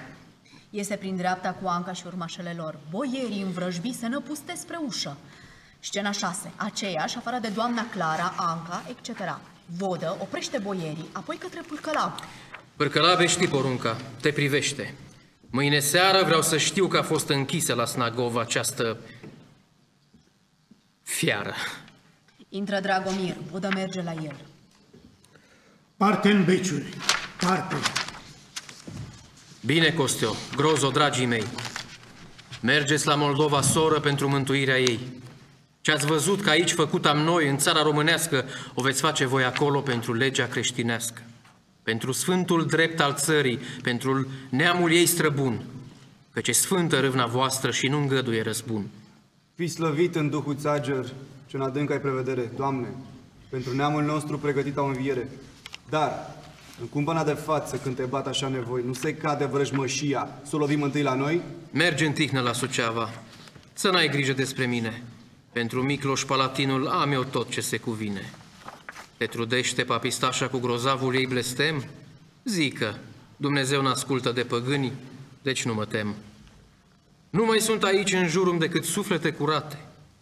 Lasă, biruiește acolo precum eu aici mușate. Voi că tămăreața-ți pildă să o urmez. Dar ce voi văd? Ai menit Moldovei? Pregătește întâi acest izod și când totul va fi gata, fi pe pace, ți-l voi spune. Vodă lasă pe Costea și merge spre fund, unde vorbește cu Gruie și cu Dragomir. Costea se închină și merge spre boier, care îl înconjoară și îl felicită, ca și pe groza. Se codește. Nu răspunde la întrebarea ce i-a pus-o Costea. Pentru ce? Mă înșală. Da, mă înșală. I-am scăpat viața și mă înșală. Pentru ce? De ce sunt vinovat? Să-mi răzbun? Să mai îngădui? Până când? Ce rămâne de făcut? Blestemul Doamnei. Luminează-mă, stăpâne. Luminează-mă. Se aude un sunet de bucium la poarta curții. Ascultă, glas de buciu m-a sunat. Cine o fi? În toiul nopții și la curte. E ciudat. Vodă care s-a coborât cu gruie. L-a găsit pristavul nostru gruie. Un copil de casă intrând. Doamne, o solie de la craiul Simon Stareț, aliatul tău. Să vie. Voi știți, dar adevărul. Îndoiala va înceta. La un semn al lui Vodă, boierii se grupează în jețul din dreapta, pe care se așează el. Intră solul sârbesc, scena 7. Aceeași, solul sârbesc. El intră cu urmașii săi, vine până în fața lui Vodă și în genunche. Bun sosit la curtea noastră. Să trăiești, Maria ta. Scoală. Sufletul meu dornic să te asculte, cuvântează. Preaslăvitul Simon Stareț, craiul nostru, îți urează pentru tine, Mare Doamne, cum și pentru neamul tău, zile line și mănoase într bunul Dumnezeu. După ce ascultă scrisoareți, îndelung porni a plânge, dar apoi dă după poruncă, oaste grabnica se strânge, ca să alerge fără preget la iubitul său vecin și să-i curețe moșia de păgân și de străin. Mergeți! zise el, răpuneți ungureasca vrăjmășie, ca și el să tragă spada pentru dulcea mea moșie, căci năpraznicul la ține pururi calea oricui, de cumva cumplita soartă mi-ar lovi-o ca pe-a lui. Astfel se rosti voivodul și dorind prin înrudire mai desăvârșită a strânge o statornică unire, care în chiar urmașii voștri roduri veșnic va purta, el îți cere de soție pe domnița, sora ta. De acum atârnă soarta de un cuvânt. Ce va răspunde? Cuvântarea ta, jupâne, în, aduc, în adâncul meu pătrunde. Inima mi e înduioșată când, în clipa cea mai grea, văd cum dragostea lui stareț înfășoară țara mea. Măgulit sunt eu pe Simon să-l aud zicând un frate, iar moșia mea va ține ca la rândul să-i se arate credincioasă dacă soarta și pe el l-ar prigoni. măgulită și domnița, sora mea, de a se uni cu bărbatul care pune pe a ei frunte feciorească, cu cunună de soție și coroana sa domnească. Mâine te-o primi cu fală și mai cuvenit alai, ca în voiala mea domniță să o întărească din viu grai. Totul s-a sfârșit. Acum, dragă oaspe, mergi cu bine. Să trăiești, mărite Doamne. Ba să moară. Și prin mine Solul iese cu urmașii săi. Scena 8. Aceeași, afară de solul sârbesc. Pârcălabe, vreau poporul meu să fie înștiințat de unirea și înrudirea care aici s-au încheiat, ca să pomenească țara ca pe o zi de praznic mare, ziua când din letopiseț și-a șters anii de închinare. Iar eu mă ruga la Domnul și îi voi mulțumi smerit, că de mâna ucigașă astă noapte m-a ferit. În biserica domnească să mă înconjure norodul, Nicodim va zice slujba. El îți va sluji prohodul. Veste bună, Predonează în grupuri. veste bună pentru țară. A, pentru țara așa e, pentru domnul Mircea însă nu prea. Dar de ce? Că iubește pe domnița Anca. Și? Iubirea e putere foarte mare. Prin ea ni se schimbă firea.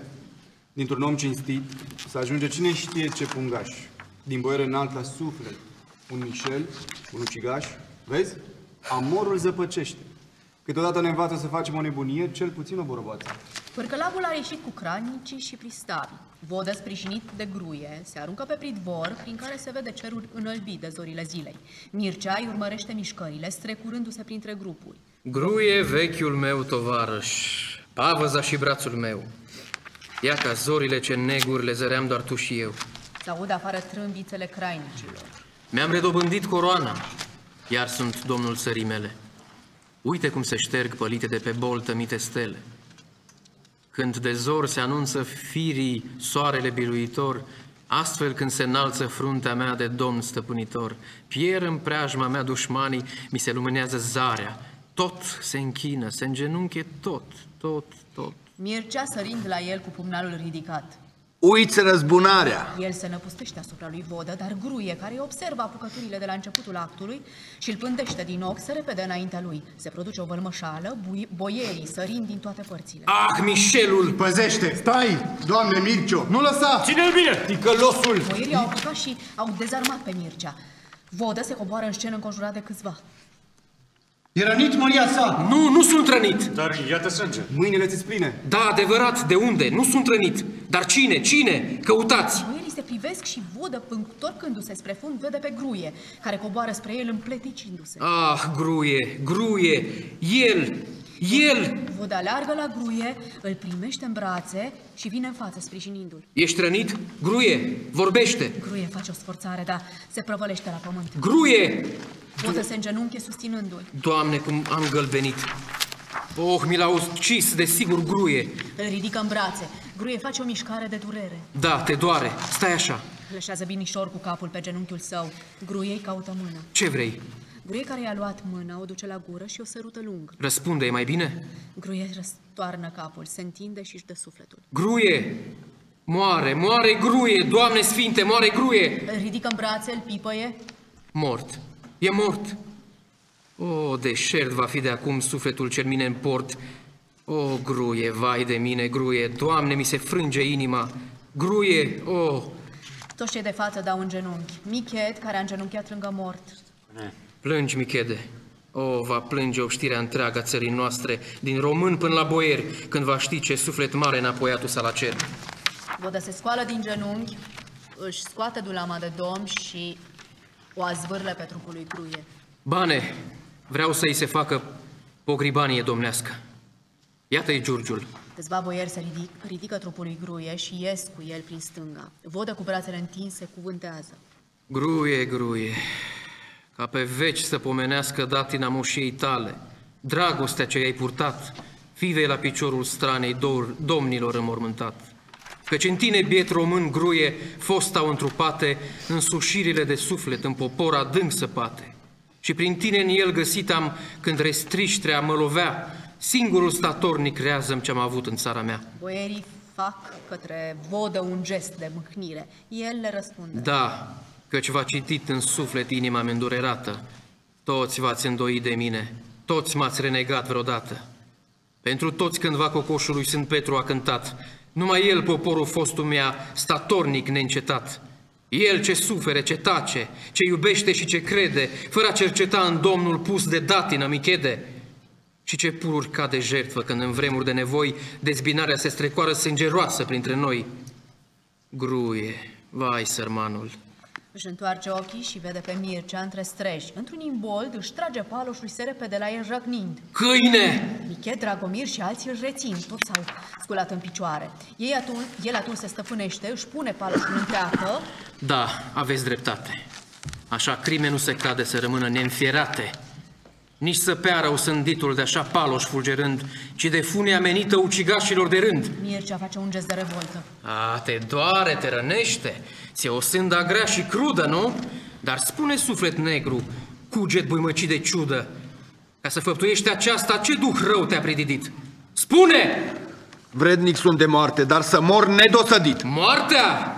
Zău, pentru așa crime crezi că e îndestulătoare? Chinuri? Nu mă tem. În mine chinuri port cotropitoare. Le-am cătat tămăduirea în răzbunare asupra ta, dar de ele numai moartea.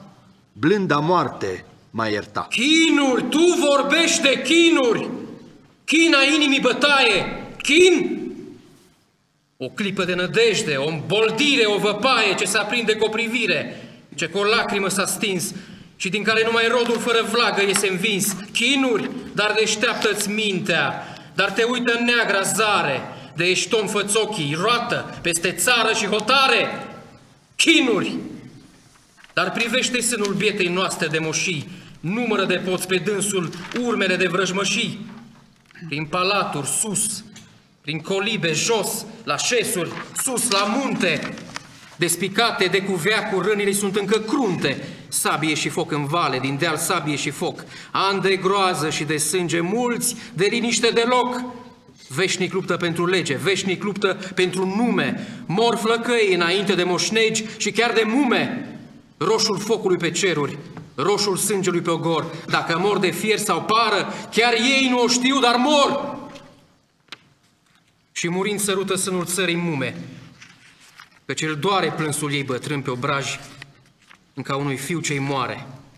Și sunt veacuri de când unii după alții anii fug și de când această țară nu e vai decât un rug, unde mucenicii noștri muritori într-o credință, moștenire își lasă vlaga și nădejdea în biruință, rug pe care se tot urcă nesătui moștenitori, ucenicii biruinței, amânate atâtea ori, iată chinurile noastre și cu ele doruri, vise, pe moșia strămoșească în lung și în lat, cu sânge scrise. Iată chinurile mele ale unui domn român, basarab, de sine vrednic și de numele bătrân, pe când tu, tu, ce văd? Plânge! Doamne, Doamne, Mi-e rușine. pocăința este cazna sufletului. Cine l-a păcătuit? E tânăr. Maria ta, sunt nevrednic și nevrednic fi voi chiar de mai, mai ierta. Dar îngăduie mărirea sufletului tău, stăpâne, să mă urc și eu pe rugul vitejiilor române. De rugina Mișeliei să nu-mi fie ghergul ros, să nu mi se stingă viața cât o fi fără de folos, să simțesc și eu, ca tine, chinurile țării mele, rănile de vești deschise, lacrimile să le spele și să mor, ca morții noștri, după pilda ce au dat, plâns de tine, cum e gruie, și de Dumnezeu iertat. Gruie, vai, Mărite, Doamne, miluiește atât așa. Duhul lui vă lumina. S-a robit măriei tale. Toți întind mâini rugătoare. Vodă face un gest solemn de tăcere toți v-ați îndoit de mine. către Mircea. Să te crezi? Pe Dumnezeu. Taci. Mi-ai ucis pe gruie, pavăza și brațul meu. Mă pricepi? Fii ce-a fost gruie. Te înțeleg și jur. Trăiască vodă Vlaicu! Vodă sprijinit de Vircea, Mir de Mircea, îndemnat de Dragomir și de Michet, merge cu ei la pridvor și se arată poporului. Se face tăcere. Să trăiască țara noastră românească! Să trăiască! Să trăiască! Ura! Drag norodul meu, ține datina străbună ca credința în Dumnezeu. E nemernic cine o uită. Datina e legătura sfântă dintre om, domn și tine. Ura! Ura! Ura! Ura! Cortina cade în timpul uralelor. Ne-ați, ne-ați cruțat un pic. E sub trei ore. E bine. Eh, Zicea Davila că pornise de la 5-6 ore. Și până la urmă s-a gândit totuși, trei ore ar fi mai adecvat pentru sensibilitățile publicului de atunci. Mă întreb, pentru sensibilitățile publicului de acum, cam, cam cât ar fi adecvat? Două ore. Două ore. Maxim. În general, e o întrebare cu care au directorii de teatru, mă inclus și pe mine și pe Nichi aici, pe toți directorii. Domnule, cât durează? Uh, Trei ore jumate. Aoleu! Are pauză. Două ore. Pe de altă parte, sigur, uh, noi avem posibilitatea la festivalul de la Sibiu să vedem niște spectacole a unor mari creatori care durează șase ore, în care vorbim de teatru de artă. În schimb, uh, văzând și conferințele al lui Declan, uh, al lui Vârâpaev, uh, al lui Bițebanu la Sibiu, mi-am dat seama că, m, sigur, nouă ne place să spunem că facem artă și probabil facem și artă, dar mai mult facem concept. Uh, Publicul de azi, raportul cu timpul al publicului de azi și al nostru este extraordinar. Parcă se duc secundele, parcă acum e sâmbătă, parcă acum e duminică. E greu să aduci publicul în sala de teatru numai dacă faci ceva, nu știu, să dureze șase ore. Trebuie să-mi spui condensat și asta de la pictură, cred că se trage și în teatru, da? De la abstracții. Dom'le, îți fac o idee, un concept și scriu acolo Îngerul a strigat. Dar eu nu văd nici îngerul, văd niște culori, văd niște pastișe, o, niște chestii și îmi imaginez, trebuie să mă duc în mult în imaginație și să cunosc asta. Asta e și la teatru, că trece și noi prin perioada asta. Cine știe ce o să fie mai încolo, dar uh, sigur, uh, mai ales când facem spectacole care, în care nu credem nici noi, că mi- mie, cel puțin mie, eu vorbesc de mi s-a întâmplat, uh, să joci trei ore jumate sau patru ore, am avut unul de patru ore uh, și nu, domnule, publicul rămâne. E, și ne-am trezit la pauză, atâta trebuie publicului, pauză la un spectacol de ăsta de patru ore și uh, bal- tot, toată loja de sus era goală, tot. Și jos mai zăreai niște oameni. și așa. Și atunci, sigur că tipul de raport al nostru, al artiștilor, că mi-e place când unii se numesc artiști sau spun uh, uh, noi uh, intelectuali, noi elita. Te definești tu ca elită sau... Uh, n-au înțeles publicul e fraier. Niciodată publicul nu e fraier.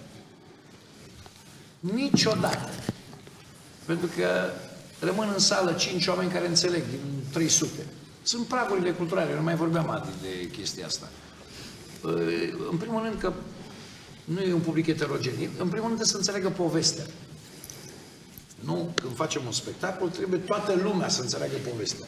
Dacă nu înțeleg povestea, nu poți să-mi explici. În caietul de sală sau să spui după, păi noi am vrut asta. Nu, trebuie primordial să înțeleg povestea, textul. Într-una din corespondențele pe care o să le transmitem de zilele viitoare încolo, uh, e chiar un uh, un uh, eseu de-a lui Caragiale în care despre asta vorbește, despre heterogenitatea publicului și cât de dificil e să lucrezi în felul ăsta. Dar hai să ne întoarcem un pic la, la Davila. Uh, Laur, ce zicea Davila? Cum ar fi trebuit jucat uh, textul ăsta? Da, uh, într-una dintre variantele pe care uh, le-am găsit apropo de text și cred că uh, apare în cred că acest, acest intro al lui Davila apare în orice variantă, nu știu Ion, după care varianta a lucrat.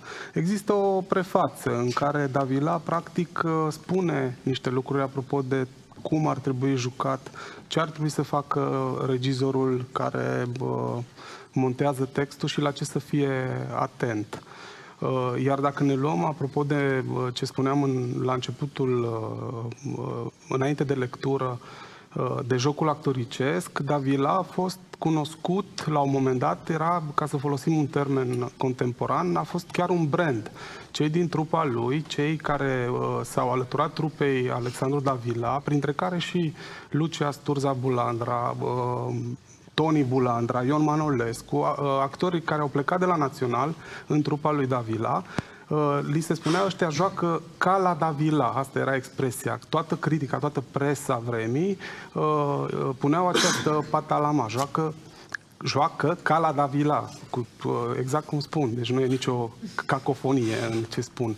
Și de ce? Pentru că Davila uh, milita pentru așa numitul teatru modern. Era într-un război, între ghilimele, deschis cu Uh, Notara, spre exemplu, care era adeptul teatrului clasic uh, uh, extrem de uh, puternic, cu intonații, cu uh, teatrul acela pe care retorică. El, cu retorică exact, uh, el milita pentru un teatru uh, o, un mijloc actoricesc mai aproape de firesc. Spunea că să fie uh, la fel ca uh, omul de pe stradă. Și bineînțeles că a intrat în conflict cu foarte mulți dintre actori. Mulți au plecat pentru, uh, pentru faptul ăsta, tocmai pentru că uh, era oarecum destul de greu de acceptat lucrul ăsta pentru actorii vremii. Uh, și de aici foarte multe conflicte uh, care, au, uh, care au apărut. Uh, evident, uh, spuneam de momentul Davila în teatru românesc pentru că a fost extrem de important. Uh, el a statuat oarecum ideea asta de companie privată, de sine stătătoare și chiar într-o depeșă pe care o trimisese direcției teatrelor de atunci, spunea inclusiv modul în care vrea el să, să să joace textele uh, și spunea uh, trebuie să fie un mod de interpretare cu totul nou, mai apropiat de gustul nou, care respinge declamația sau uh, bombast, uh, bombastismul. Deci, bombastismul. Deci, uh, cam, cam pe ideea asta mergea el. Uh, în plus, uh, mai există niște surse apropo de uh, viziunea lui asupra uh, modului în care trebuie să joace actorii în uh, niște scrisori către actor, așa le și spune, în care efectiv uh, descrie o lecție de uh, actorie. Și uh, descrie acolo cum actorul ia textul și începe și intonează și cum îl uh, apostrofează și spune aici nu, repetă, reia. Deci sunt niște surse uh, ce zic eu merită uh, folosite, mai ales pentru uh, da, partea școala, asta. Școala românească nu face asta. Refer la actorie. Uh, Caragiale, uh, tot asta uh, vorbește ce ar trebui să fie actorul. Cred că începuturile școlii românești ar trebui să, să mergem spre iz, izvoadele astea care le avem și să, păi, dacă vrem să vorbim de o școală românească de teatru. Păi și de la Eminescu, pentru că de fapt și Eminescu are niște lucruri legate de cum vroia el să vadă teatru pe scenă. Nu mai zic de Caragiale, nu mai zic de Paul Gusti, Uh, în uh, zona de actorie, care de fapt și-a și uh, oarecum și-a cristalizat un anumit, o anumită metodă în partea asta. Iar apropo de Davila, că spuneam că a fost un personaj, eu l-am descoperit, recunosc, l-am descoperit relativ recent, el ca personaj și ca să fac o paranteză. Cred că una dintre marile plus, unul dintre marile plusuri pe care proiectul ăsta al nostru îl are este faptul că aduce uh, o altă imagine asupra celor despre care vorbim noi aici. Școala românească ne-a învățat că avem niște fotografii uh, sau niște statui. Nu cunoaștem oamenii, nu se predau despre oamenii care au scris textele, se predau textele pur și simplu, se analizează ce a vrut să spună autorul, dar nu se contextualizează. Și cred că proiectul ăsta, care va rămâne pe YouTube-ul uh, teatrului, pe uh, paginile de socializare, uh, în timp, nu acum, poate că nu acum imediat, în timp va deveni o sursă uh, extrem de utilă pentru cei care vor să studieze fenomenul teatral.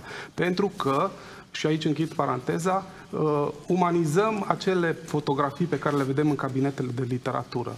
Uh, și uh, am închis paranteza și revin la Davila. Mi se pare că omul acesta uh, a constituit o bornă extrem de importantă în ceea ce s-a întâmplat, mai ales uh, după el, și uh, unii dintre cei care au studiat uh, fenomenul teatral, care, uh, și nu neapărat, care au visat la un teatru uh, românesc uh, de sine stătător, care au cercetat atât care uh, regizor ca actori uh, acest fenomen, uh, s-au întors de multe ori. Și dovadă sunt articolele scrise în multe reviste uh, care se găsesc în uh, sursele de, de uh, documentare în care se fac referire uh, foarte dese la, la proiectul lui Davila. Și el, uh, în to- cu toată lipsa lui de modestie, se, spu- se autocaracteriza evoluționist, novator, reformator, inițiator, animator. Acum, evoluționist, clar, nu în sens darvian, în sensul, în sensul evoluției teatrului. Bun, mer- mersi, Laura. Uh, O să avem o discuție comună și după Apus de Soare despre cele două drame istorice, să le vedem, să vedem dacă le mai găsim uh, relevanța sau dacă ele mai funcționează sau în ce ar trebui să se transforme. Luăm, uh, Hai luăm să- o pauză. Adi, hai să uh, spunem că ni s-au alăturat și regizora Leta Popescu și Nicolas Cristache și cu ei ne vom întâlni. Da? Nu, da, iartă-mă, la dar... Apus de Soare.